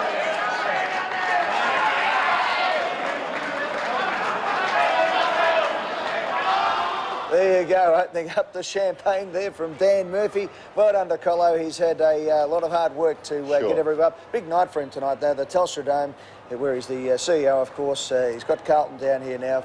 Capacity crowd tonight, pretty much. A, A wonderful go- a lot going on. He was a tough player too, and that's what I liked about Carlton tonight, their toughness. I mean, as we said, headed in the last quarter, and they simply found something and ran away with it. Well, Princess Mary of Denmark is a Carlton fan. She's down there in Hobart with uh, Frederick, uh, the Prince, probably enjoying the uh, the Watch night's activities. And uh, well, that's a bit of a fairy tale. Well, there was another fairy tale wedding today as well in the uh, snowy mountains. Justin and Carmen were married, and Steve-O, of course, Nick Stevens missed out on. Uh, the nuptials, he was uh, scheduled to be Justin's best man. We've got Nick Stevens live down in the Carlton room. Steve-O, how are you going, mate? Congratulations. I suppose it was worth it. Yeah, thanks, Eddie. It uh, really was to come out and play like that and get get that result. It just makes it all worthwhile. And you know, I hope the wedding went well. And uh, yeah, as I said, I couldn't be happier at the moment. Well, Steve, by the magic of television, we can link yourself up with your brother Justin and the beautiful Carmen, who did look a, a magnificent bride today uh, in the uh, in Adelong in New South Wales in the Blue Mountains. Uh, Justin, would you like to say something to your brother? He, he didn't get there to the altar to be your best man, but he was just about best man on the ground tonight. G'day, Puss. How are you, mate? Good, mate. Hi, Congratulations. How you going, cuz? It's uh, how you travelling? Good, yeah, no, it's been a good night. We, uh, we mixed up the music pretty well so that uh, everyone's had a crack at the dance floor. Um, I've still got freestyler to come, so I'll be one person missing there, but we'll have to make it up somewhere else, mate. Yeah, that's good, mate. It's uh, I'm just glad we made it all worthwhile to you. And uh, sorry I couldn't be there, but um, from all reports, it's gone well. And there's your present for you, mate. So well done. Sensational. We, um, Daniel read out your uh, beautiful notes, and I don't think there was a, um, a, uh, a dry eye in the um, in the household. I don't think we'd had that many tears since Lizzie died in prisoner, I think, or something like that. So. Uh, Justin, can we ask you what the tone of the message was? Oh, it was just, you know, so basically, he, you know, it's like he was disappointed that he couldn't be there, but um, the fact is, you know, it's like the love that we have as three brothers, um, you know, it's like him, Daniel and I, and, uh, you know, the strength that we have that we can get over something like this and that, um, you know, I said in my speech that basically something like this, if, if it's even possible, that could probably bond us even stronger. So, you know, it was, uh, it was very emotional, but um, we, we knew tonight our heart was with him, and uh, we knew up here that his heart was was with us, and uh, basically it was, um, you know, we're wrapped that he, he won tonight, and uh, yeah, it's a it's a well deserving because it's been a very hard couple of weeks for him. Well, Carmen, So, can we uh, ask you, mate? Uh, Carmen, can we ask you? This is your day. These two blokes have tried to upstage you all week, but can I say you've uh, you've absolutely fixed them up. You look magnificent tonight. Uh, how's the week been with all the hoo-ha and fuss around it for you? Um, not too much, not too bad, Eddie. Actually, I it's really ironic because I wanted this small wedding, and it's sort of um, become a little bit bigger than what I had hoped. Just a bit. Yeah. Uh, well, Eddie, we've got some beautiful pictures coming through here of, uh, of Carmen and Justin. Looks absolutely gorgeous. Not sure whether you could have added much more to that, steve to be honest. You might have dragged it down, but uh, obviously a marvellous day uh, for your brother. But uh, you've got the coach. I've got Shane O'Sullivan winding us up. So final words to Justin and Carmen, and we'll let you get in there and celebrate with the coach. Yeah, have a good night, guys. And, you know, I love you both, so all the best, and I'll speak to you later on. Well done. See Beautifully you, done. Beautifully done. Nicholas. Thanks, Steve. Well done, Ed. Sorry to wind that. Justin and Carmen, I'll talk to you. You look absolutely stunning. Uh, Carmen, was uh, there any ever thought that perhaps you might put your foot down and say, righto, Justin, get your brother organised and get him out here because we need him? Um, it's not really my business to say that, Gary. It's his family, his his family, his brother, and you know, I know Nicholas has had a lot on, so I kept out of it. No, that's the best question. thing to do. Who, who picked the date? Obviously a bad tipster uh, in the family. Who picked the date? yes. Yeah, we went through this. We went through this on Thursday night. I actually chose the wedding. We chose the wedding date before any fixtures were released. Ah. And uh, basically, last year it fell on the weekend off. The weekend off was a long weekend, so we thought we'd do the common sense thing and book the same weekend but uh, unfortunately uh, fate didn't uh, provide any joy to us. Now, Justin, when you spoke to Nick before, you said puss. Is that correct? Had the West Coast That's Eagles correct, known yeah. that, they would have been a chance. yeah, unfortunately, uh, I don't. Uh, I don't call him Nick. Um, that's uh, just just one thing I've never. that's just a name I don't call him. It's, it's either Nicholas or Puss, and it's the same with Danny. It's either Daniel or something I won't say on camera. okay, mate. Well, look, we'll let you go. Uh, you might do the bridal waltz off uh, uh, out of the shot there, you two. Uh, Carmen, Carmen, congratulations on this wonderful day for you. Thank you very much for allowing us to share in it. And uh, it has been a wonderful talking point. In the end, it has been the fairy tale wedding and the fairy tale result for, for Puss and the Carlton team. So congratulations. Enjoy the rest of the night. And thank you very much for allowing us to be there. No Good worries. on you. Thanks, Eddie. It's been a great day. Thank you. Congratulations. Well done. Thanks. There you go. Happy a lot of name changes tonight too. Tucky did it, of course. I mean, it's, it's all there. now, Woosher is down in the rooms. We need to go down there. He's we talking do. with Dermott. He's with Dermott. Okay, Dermott, yours. Thanks for joining us, Woosher. Tough night at the office, but uh, you weren't without your chances. No, no, it was a you know, pretty solid game. Um, yeah, we made a few blues, uh, which cost us badly, um, but you know the guys really worked hard throughout the whole night. I thought they, they fought back from a pretty slack second quarter to um, increase their work rate, which we were really pleased with in the second half. I thought their second quarter was uh, defining for the evening, Carlton, but they did their homework on you. They went in front of uh, Big Lynch and uh, choked up his area and they uh, double-teamed him. Yeah, no, that's the way Carlton play. I don't think it's specific to us. They've done it throughout the whole Wizard Cup and they'll, they'll no doubt do it all year because they want space for Whitnall and, and Fevola um, up the other end, so they're quite happy to sacrifice guys. Uh, but we learn a fair bit from that too, which is good for us. Does it get into a battle of wills with the likes of Dennis when they go nine men in their uh, defensive end? You match them up. Does it get to a point where you think, well, gee, we could end up with uh, 14 blokes in our forward line and we're never going to kick a score? Uh, yeah, but then, you know, if we lock the ball in there, Carlton shouldn't get it out and get any chances to score at the other end. So, uh, you know, we just made some poor decisions, and it's the first time we've played, uh, you know, a side that's really flooded back like that, and we've learned a fair bit. You know, I think we showed that there's ways around it in the second half, and um, we'll take that on board. The Givens are the great form of Benny Cousins. He led from the front. Uh, Juddy came on board as well uh, in the second half. They are the Givens. What else did the Eagles learn out of this loss? Um, oh, I think you know over the last four weeks we've learned a fair bit uh, in preparing ourselves for the for the home and away season. So um, the key thing for us was to see how Staker goes and plays on good players, see how Hunter goes on good players, um, to give Lynch the opportunity to play some games forward. We wanted to get Gardiner back going again, and you know that's been a massive bonus for us. So there's a lot of really good stuff coming out, and uh, you know we've we've got ourselves in a good position, um, looking for the season to start.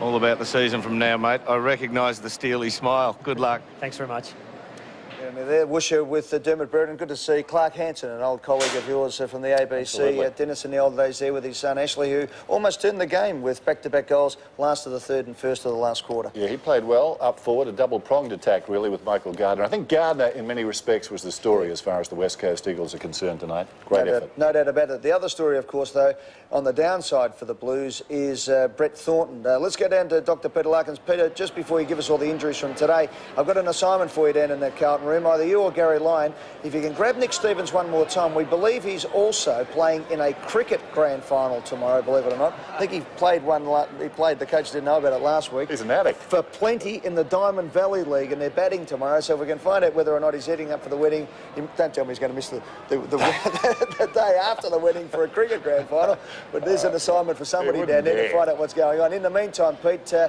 Brett Thornton, that was the bad one, seeing limp off on crutches at the end of that match. Yeah, just unfortunately, Ed, uh, Carlton prided themselves on getting through the whole of the campaign without a serious injury in the Wizard Cup, and then really five or six minutes in, Brett Thornton's uh, left knee we just, right now, we so just see it get taken out there. Ian Prendergast, now that's the medial ligament going pop there, Ed, but they're just optimistic it's only going to be a straight medial.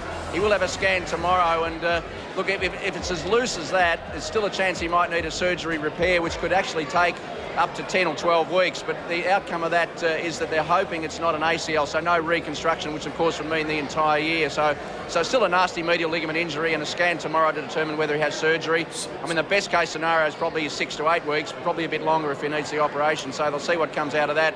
Certainly, good news on Koutoufides. Obviously, didn't play the entire game, but he got through, and that all the Carlton fans will be pleased to see that. So, so Carlton pretty happy with that. West Coast, no injuries to come out of the night that's going to affect the season, which is good for them.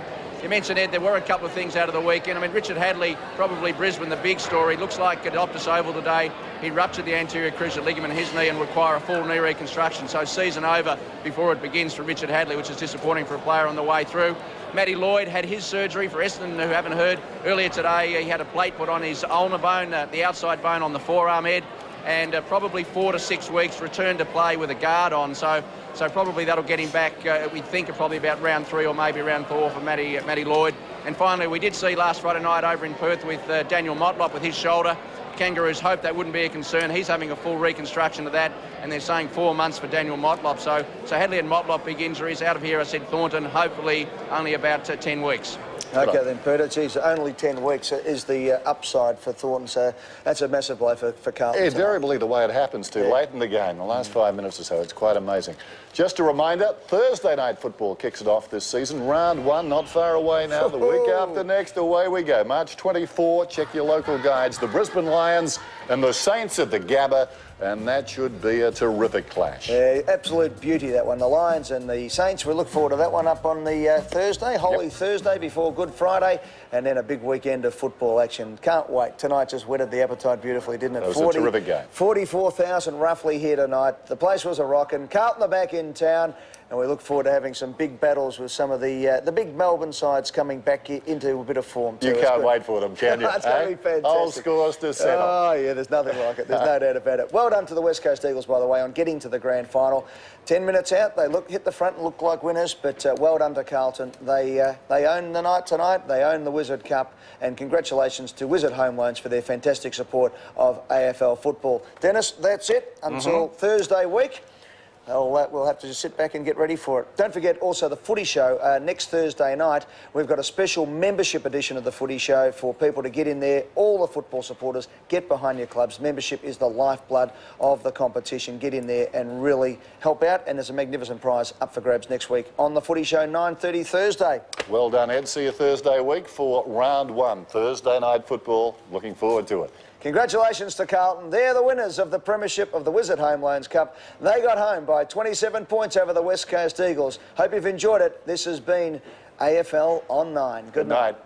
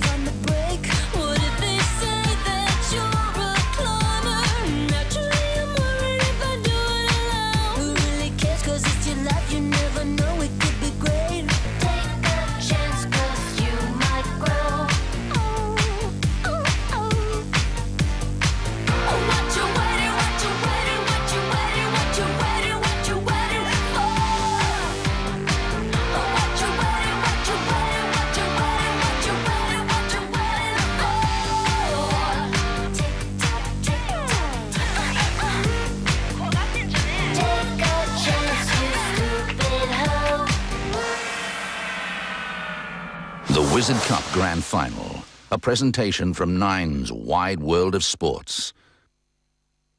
The Wizard Home Loans Cup.